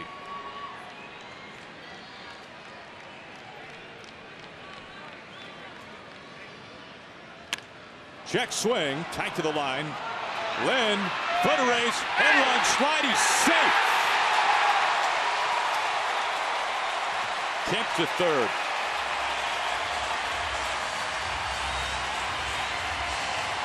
The second error of the inning. Take a look at it. Oh, that is close. We may take a look at this one. I think maybe he gets his foot down in time. Close play. We talked about Marisnick at the start of the game. He, for a big man, he can really run.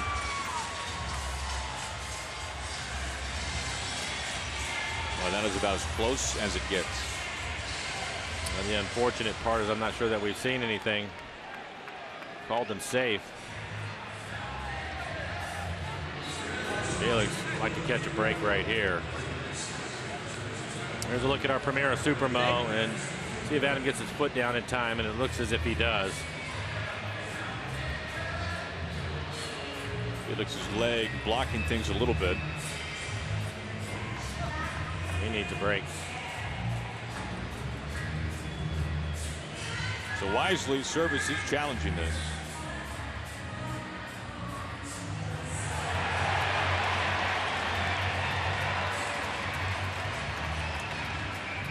Gary Cederstrom with the glasses, the crew chief.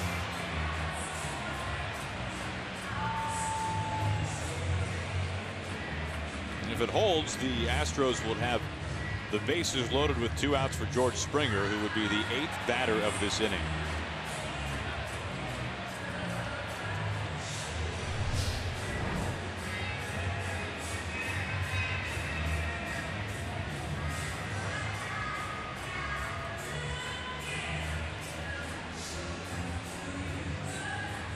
Other part of the equation is Felix was in great shape with his pitch count. He's had to throw some extra pitches here in the inning.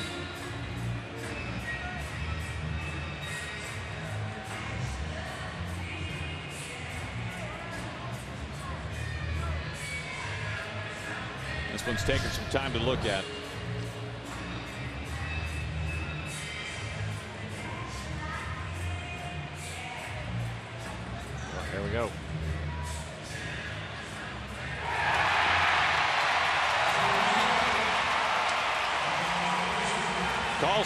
Bases loaded.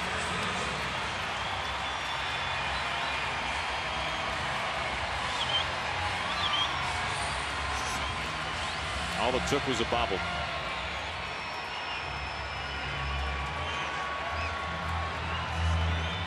Also turns the lineup over. Leadoff hitter George Springer going to step in. He has a couple of hits tonight and scored a run. Nowhere for Felix to put him. Now Springer, we've made mention before, 28 home runs. Three of those have been grand slams. As Storen begins to stir.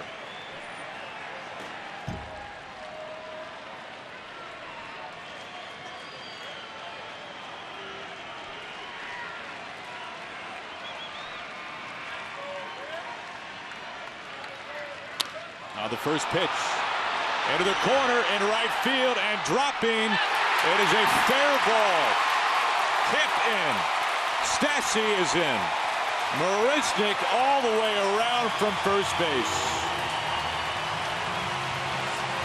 They're going to send Marisnick back to third, bounce into the seats, take a run off.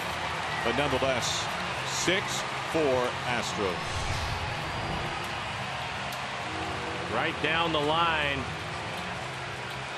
It's hard to tell from where we're at whether it was going to stay fair or foul as Seth Smith chases it just inside the line as it bounces into the stands.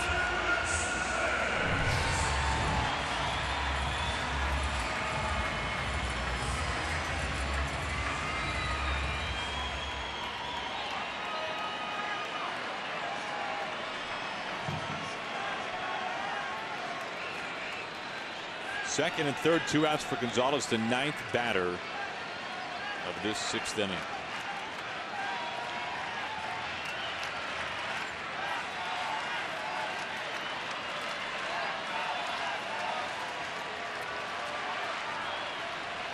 This will be the fifth batter since the double play wasn't turned. Now that's what you circle in this frame.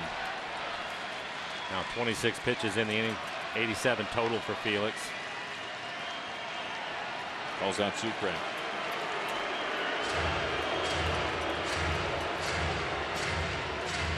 Four runs in for the Astros. And they're half the sixth. Typically in this situation, fielders would not give in to the hitter with first base open, but Altuve waiting on deck. He's going to have to try to find a way to retire Gonzalez. Altuve has been on base all three times, including a couple of hits.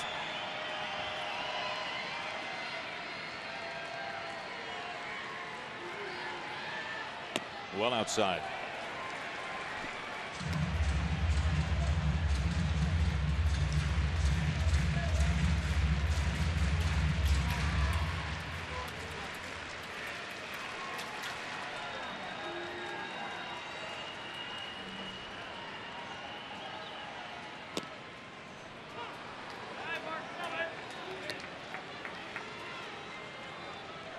Now one and one.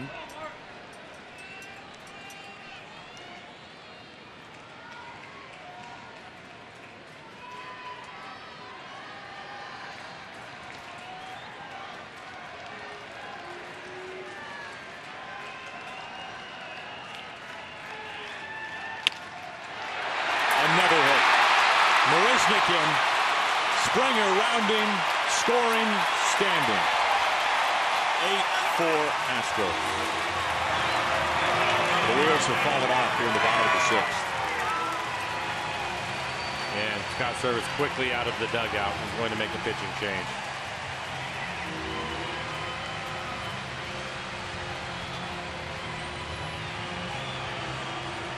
Storen has been warming up.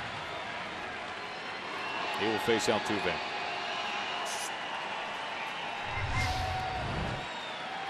It's on the changeup. It's up in the zone, just off the outside corner.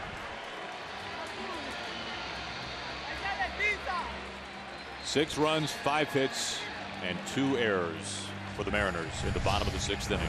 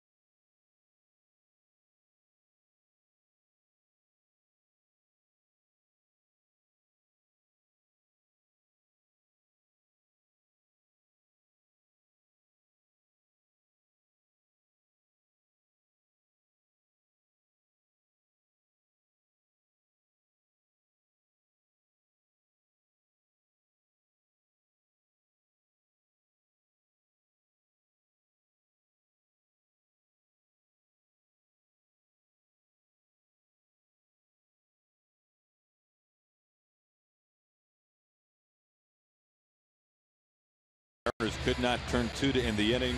A couple of errors by the Mariners in this bottom of the sixth, and the Astros have chased Felix. As you can see his final line here. Turned out to be critical. Five and two thirds, 10 hits, eight runs. Again, a couple of errors behind him. Two walks, three strikeouts. Felix ended up throwing 90 pitches. Drew Storen going to try to get out of the inning. This will be his 55th appearance on the year. Fastball 92 miles an hour, slider, split changeup.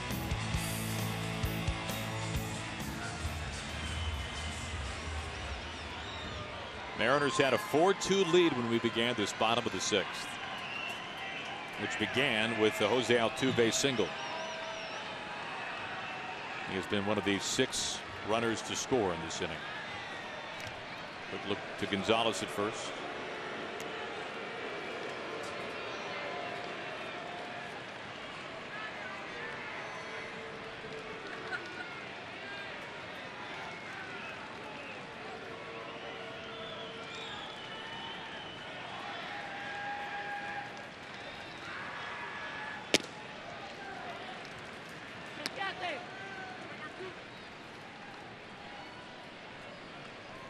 Another multi-hit game tonight for Altuve.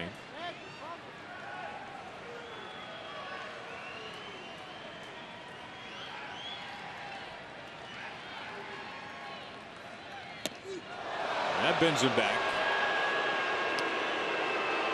That looked like a backup slider.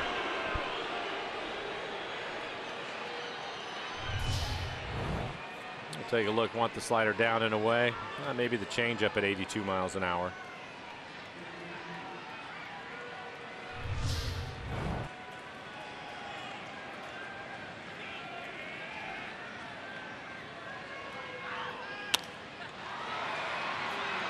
Dropping into center. Cano calling for it. And that will finally end the bottom of the sixth inning. Damage done by the Astros.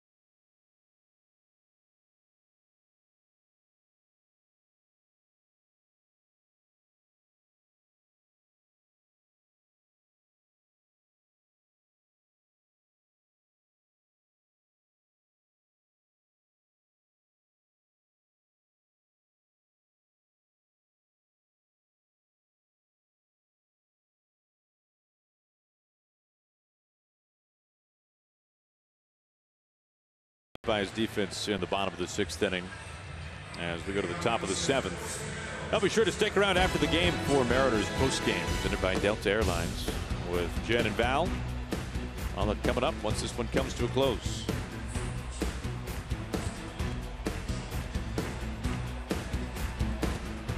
Four runs earned, four runs unearned for Felix as Max Stassi stays in the game, took over as a pinch runner, does the catching for Castro. Yeah, a couple of critical errors for the Mariners in that inning. 9 1 and 2 for the Mariners. It'll be Marte, Aoki, and Smith.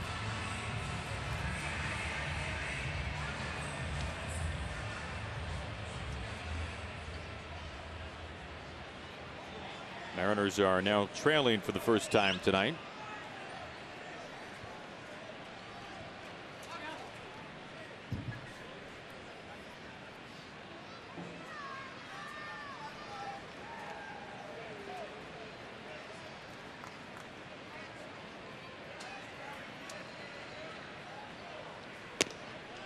One to begin the top of the seventh. Right now, right Mariners, in fact, trailing for the first time this series. Winning last night, four to three.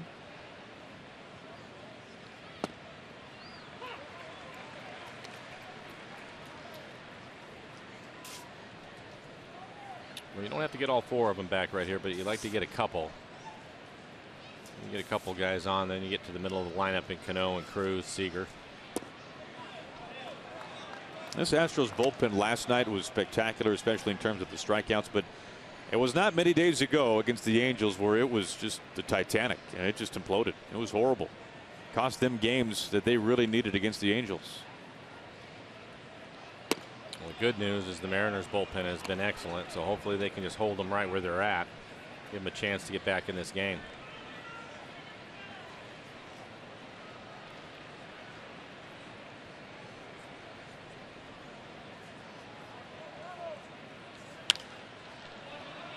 Full count to Marte leading off the Mariners seventh.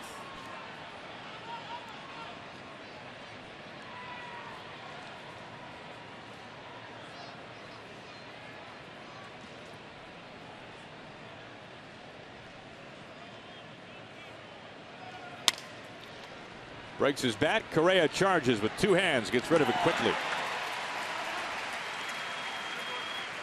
One up, one down. Make this Thursday a night out at the ballpark with the entire family. When the Mariners meet the A's at 7:10, you can get in on the action for less when you buy a Safeco Insurance Grand Slam Family Package. A ticket, a hot dog, and a Pepsi are available at a very special package value price. You can secure your savings at Mariners.com. Dan Altavilla getting loose.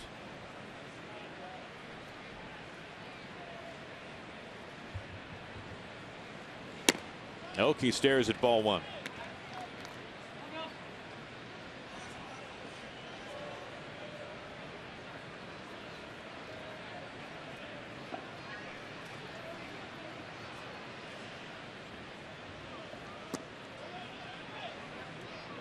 A reminder earlier that the Blue Jays beat the Orioles. Very good news for the Mariners. The Tigers whitewashed the Indians 12 to nothing. Justin Verlander, who's having a Cy Young type season, seven and two thirds scoreless with 12 strikeouts. 3 0.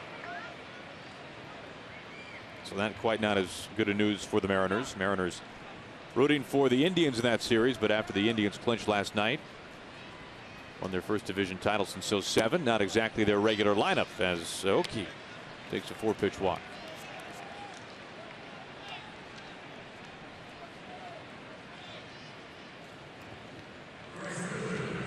One out and one on for Seth Smith. Brent Strom, pitching coach for Houston, on his way out to the mound. Robinson Cano comes out on deck.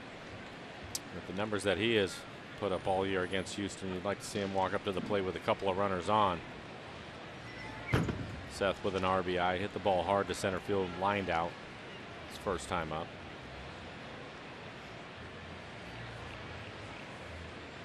Yeah, that was grooved out to center field, but made for a play for Marisnick.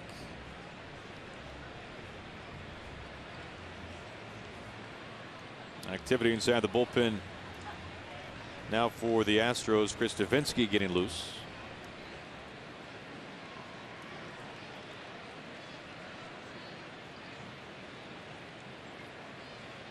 Houston with a six run bottom of the sixth inning aided by two Mariners errors.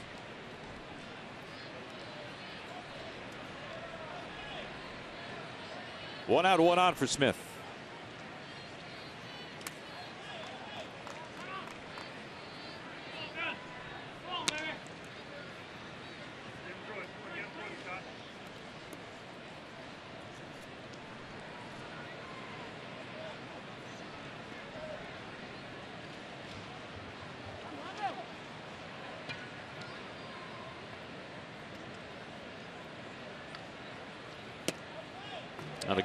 Context to that bottom of the sixth inning when you put it in uh, the time frame of Felix this year.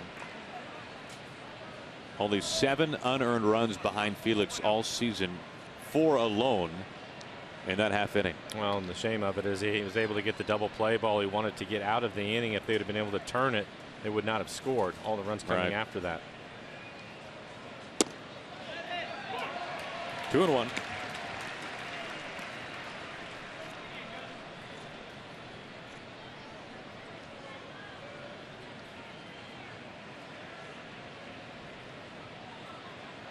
Shortstop Correa swung over in the shift.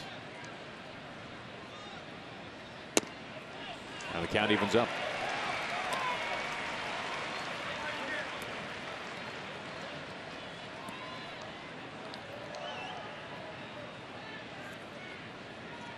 Few teams shift more than the Astros. You can say the same thing about the Mariners.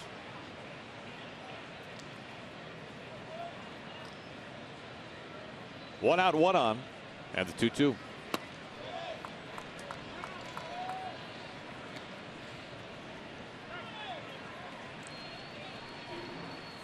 Cano looming on deck.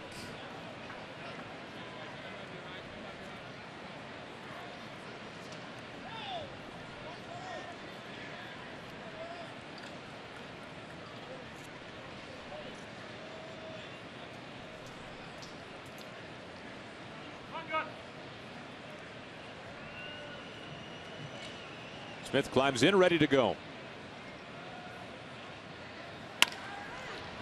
Altuve charges. Shovel to Correa to first. Not in time.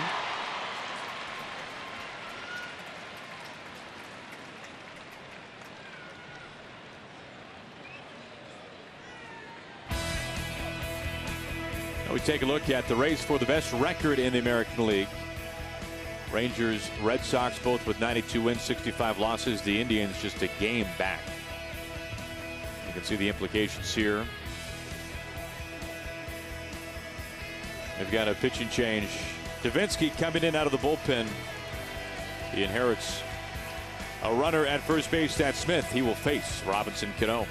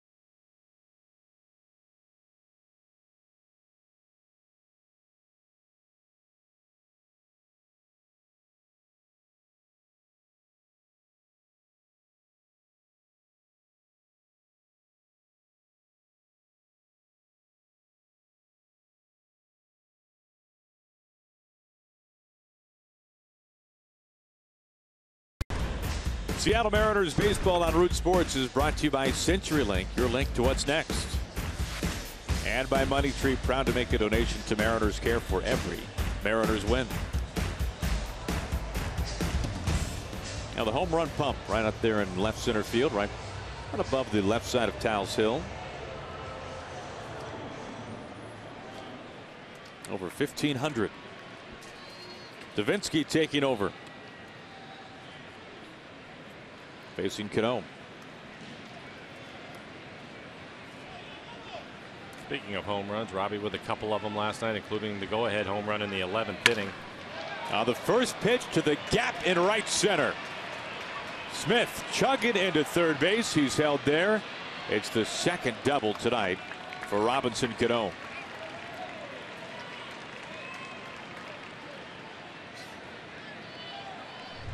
He is locked in. Jumps on a first pitch fastball at 93 miles an hour.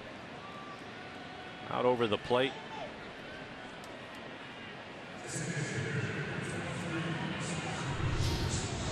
Mariners have two in scoring position with two outs for Nelson Cruz. Nelson drove in a run in the first inning with a base hit back up the middle. Came after Robinson Cano's first double of the ball game.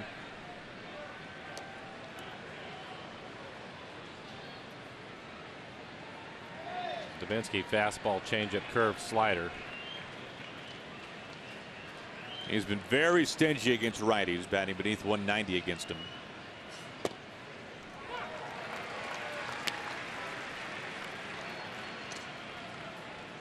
This will be his 48th appearance on the year. ERA just over two. 102 strikeouts and just 20 walks in 107 innings. Opponents hitting just 206. 0 2.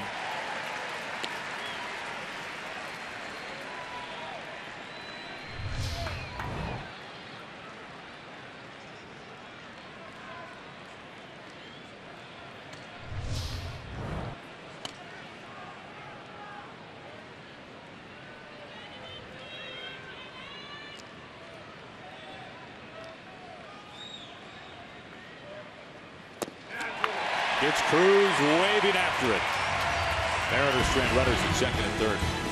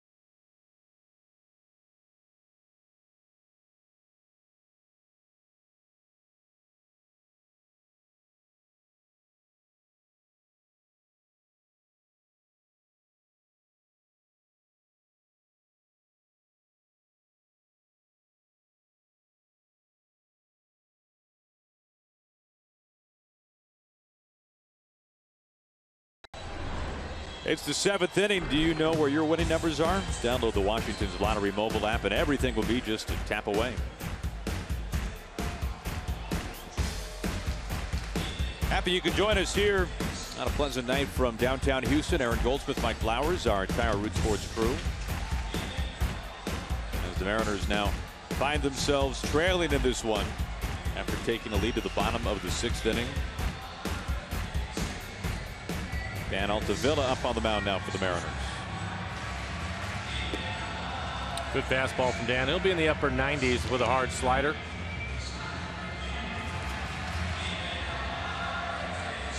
Correa, Gattis, due up for Houston. So Storen goes a third of an inning. He gets the Mariners out of the sixth by retiring Altuve.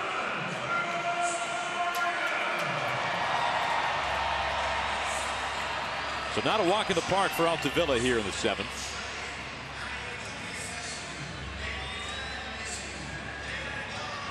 Made his major league debut in Chicago not long ago. Made the jump right from Double A up to the big leagues.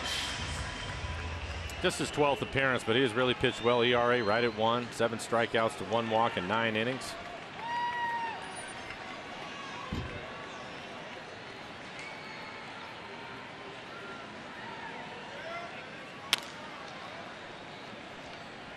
Oh, one to Correa leading off the last of the seventh. Talking with Mike Zunino the other day about Carlos Correa. He said that he has seen Correa improve tremendously just this year and even just from one series to another. And that's saying something for a guy who's already so good. Last year's rookie of the year. And he was mentioning how it's just so difficult to get Correa out because he can just simply cover so much of the plate. Well, it's what you would expect. I mean, obviously, he has a lot of talent, and the more that he plays at this level, the more he's going to learn. And we were talking about it earlier in the game with runners in scoring position this year. The thing I've noticed with him is he will hit the ball up the middle the other way, not try to do too much with it. Probably going to get stronger. 20 home runs on the year. Good ballpark for him to hit in.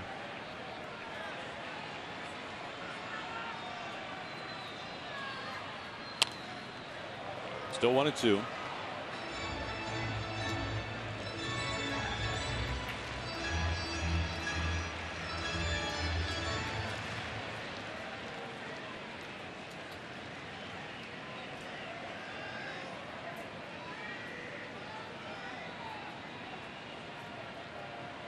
Playing Correa pretty straight up.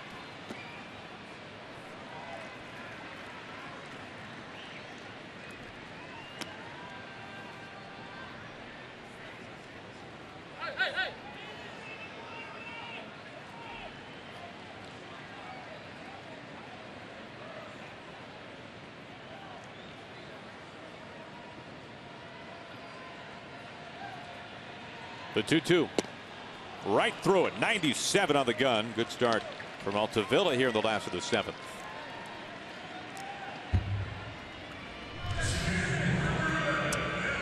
Challenging fastball in the outer half of the plate. Probably belt high. Throws it by him after a couple of sliders.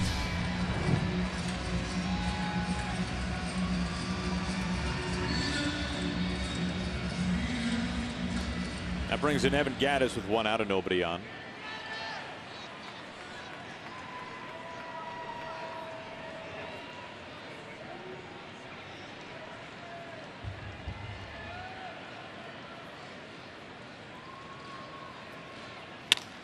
First pitch.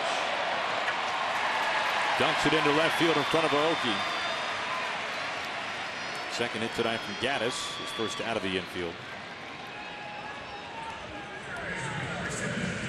One out, one on for Gurriel. Jumped on a first pitch slider. It was up out over the plate.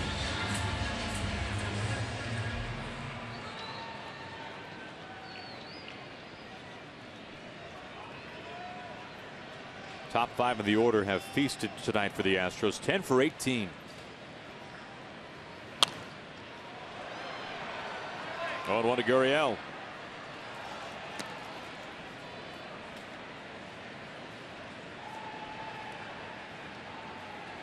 The Astros have not won a home series this month. They have dropped all three series here from their home ballpark in September. Mariners winning last night, having to come from behind now all of a sudden here this evening.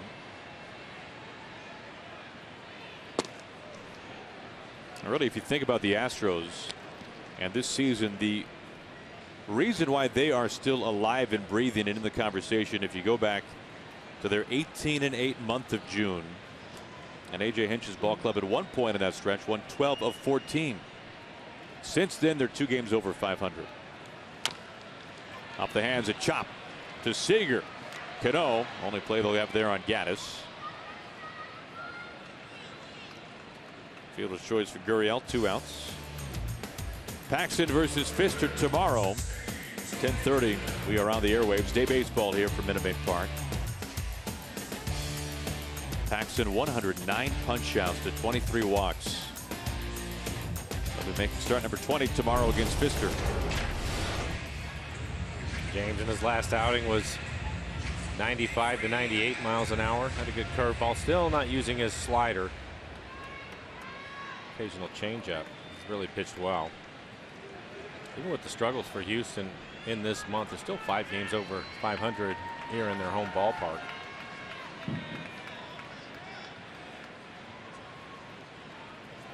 Kemp looks at ball one. Well, if you look at where these teams stood entering the series last night, the Mariners and the Astros had 82 wins. They were within a half game of each other. They had the same number of wins at home. They had identical records on the road. High out to the manual scoreboard. Aoki bends his knees and he makes a squeeze for out number three. That ends the inning.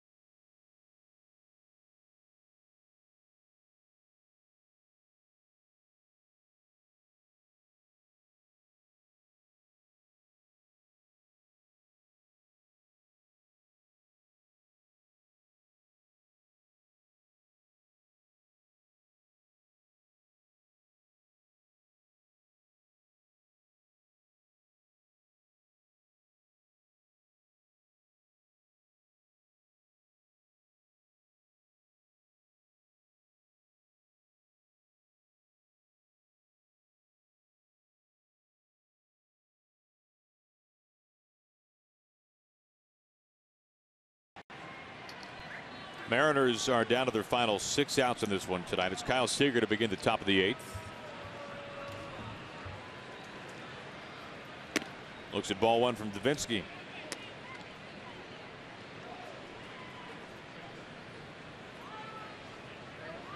Kyle one for three tonight. A couple of flyouts to left.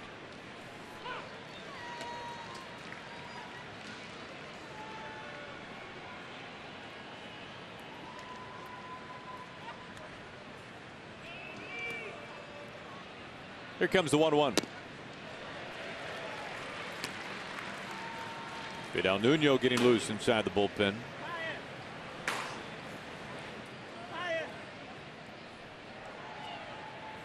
Shift is on for Seager.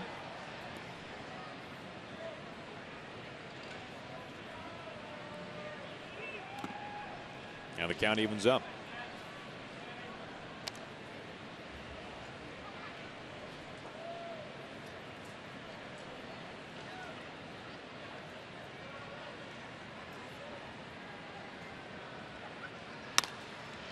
Out to center. Marisnick has it in his sights. One down.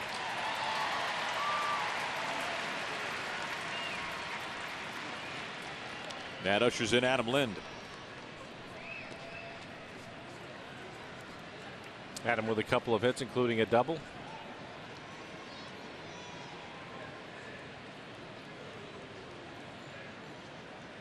We were talking last night about among the teams in the postseason who have locked a spot, the Cleveland Indians, who won the Central last night. And despite the celebrations for Terry Francona's club, Corey Kluber having to leave that game because of a groin injury and an MRI revealing today that a mild strain for Kluber's quad and a timetable to return of about seven to 10 days. So that could have been a lot worse. He was supposed to make his last start on Saturday, so that's not going to happen. They need him for the postseason, no doubt about that.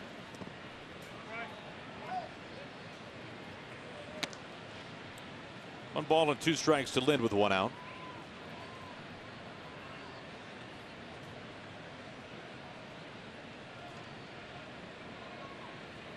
Red Sox had a chance to clinch the East tonight, but lost to the Yankees.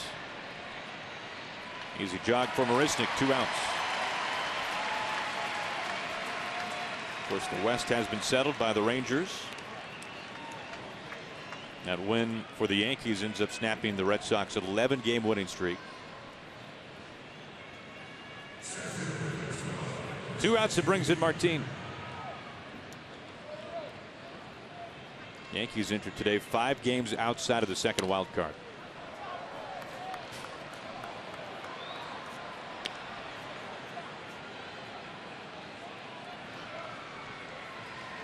That was a game where you really thought the Red Sox would lock down the East. They had David Price up on the mound, but Price coughed up six runs on a dozen hits.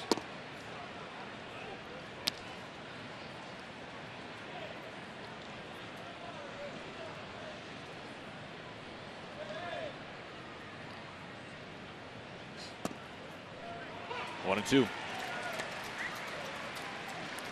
Devenski's best off speed pitch is his changeup, and he has a good one tonight.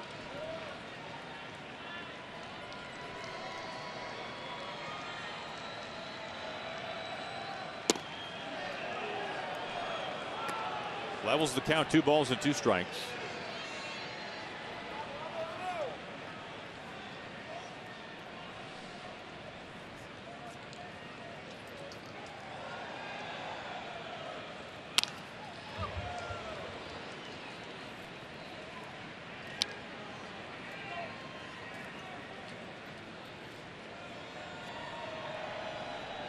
Felix going just five and two thirds tonight after at one point really cruising after the start of the second inning. Two errors by the Mariners in the sixth inning leading to four unearned runs. And knocking the King out earlier than it looked like he would be exiting as the top of the eighth comes to a quick close. The side retired in order for the third time tonight.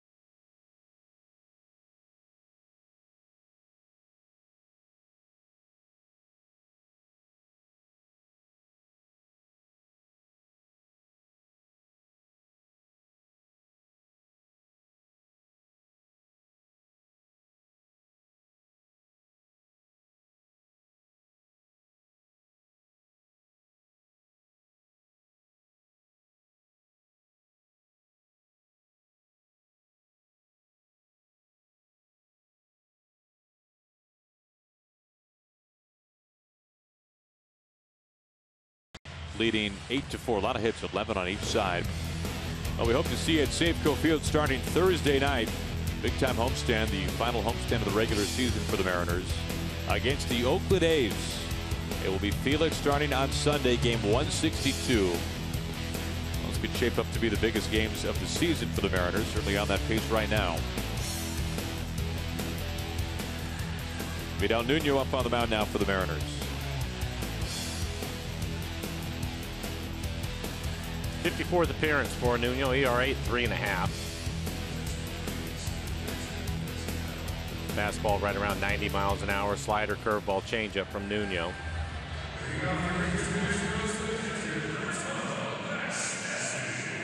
Stassi's first at bat took over as a pinch runner.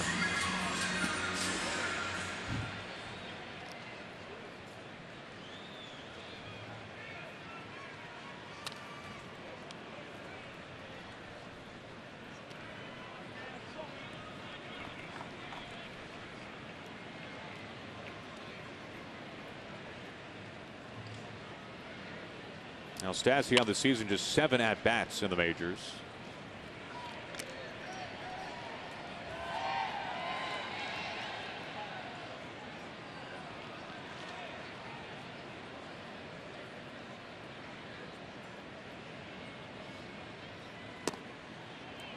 Inside a ball and two strikes.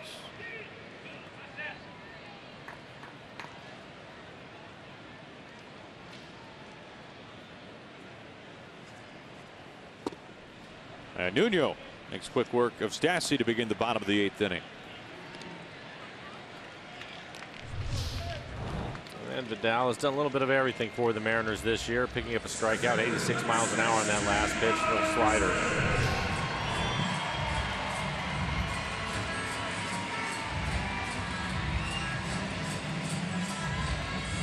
One up, one down. It brings in Marisnick.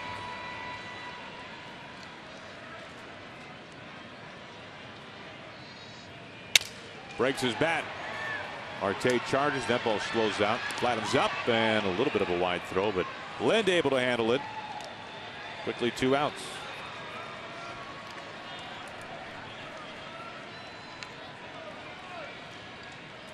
Look at the production. We've hammered on this a number of times for the Astros. Top five in the order for the Astros tonight. Each hitter has either two hits or two RBIs, and in Springer's case, he has done both. He has three hits.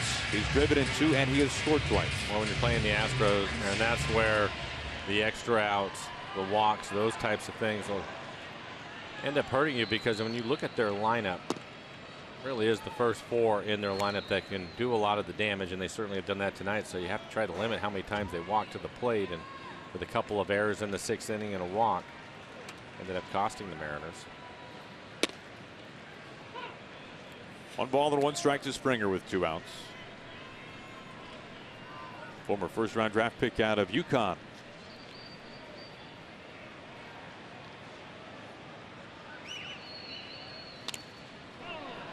Almost falls down as clips the home plate umpire a little bit. Eric Cooper.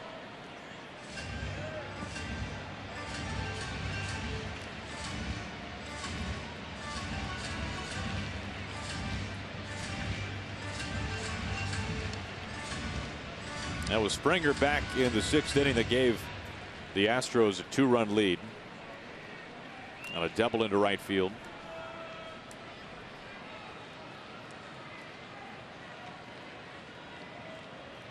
Springer giving Cooper a little bit of time.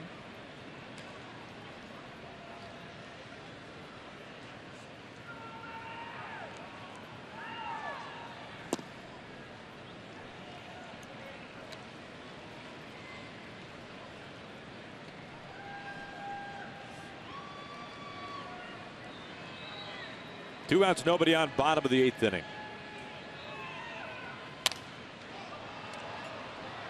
When we get to the top of the ninth, last try for the Mariners, 8 9 and 1 due up. Sucre, Marte, and Aoki. Pat Neshek. And the bullpen getting loose. Funky right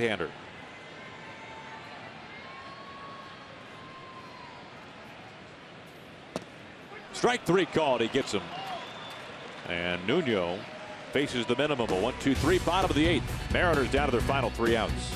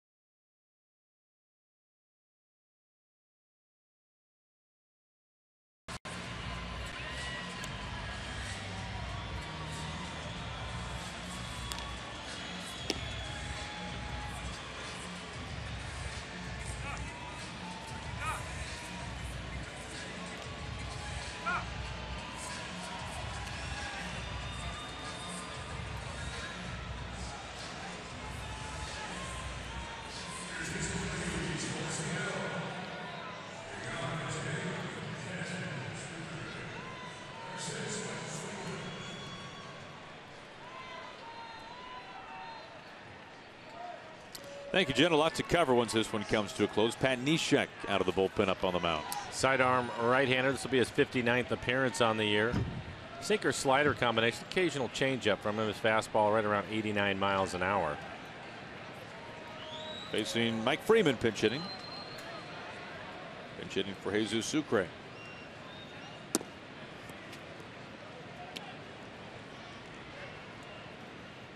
Freeman a waiver wire claim by Jerry Dipoto coming over from the Diamondbacks.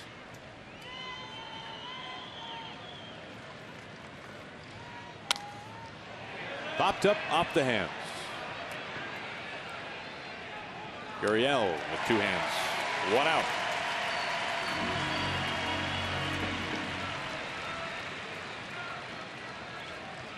Tomorrow, James Paxton up on the mound. Day baseball here from Houston against Doug Fister.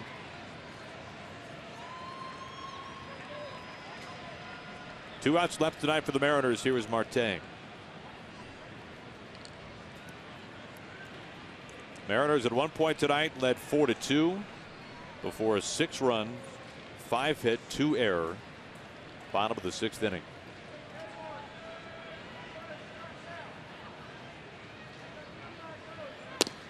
Strike one.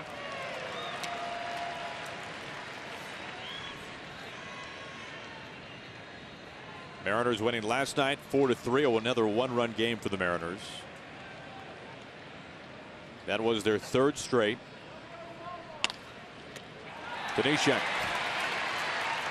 Sidearm toss to first. One out left for the Mariners tonight.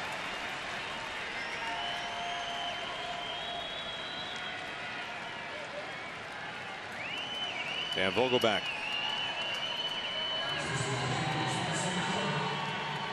Batting for Aoki.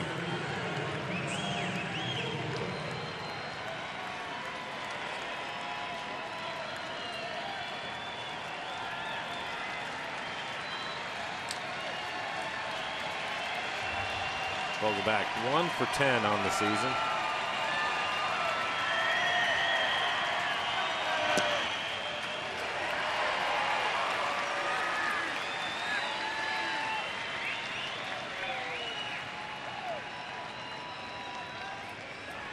23 years old, born in Orlando, high school in Fort Myers, Florida. One and one.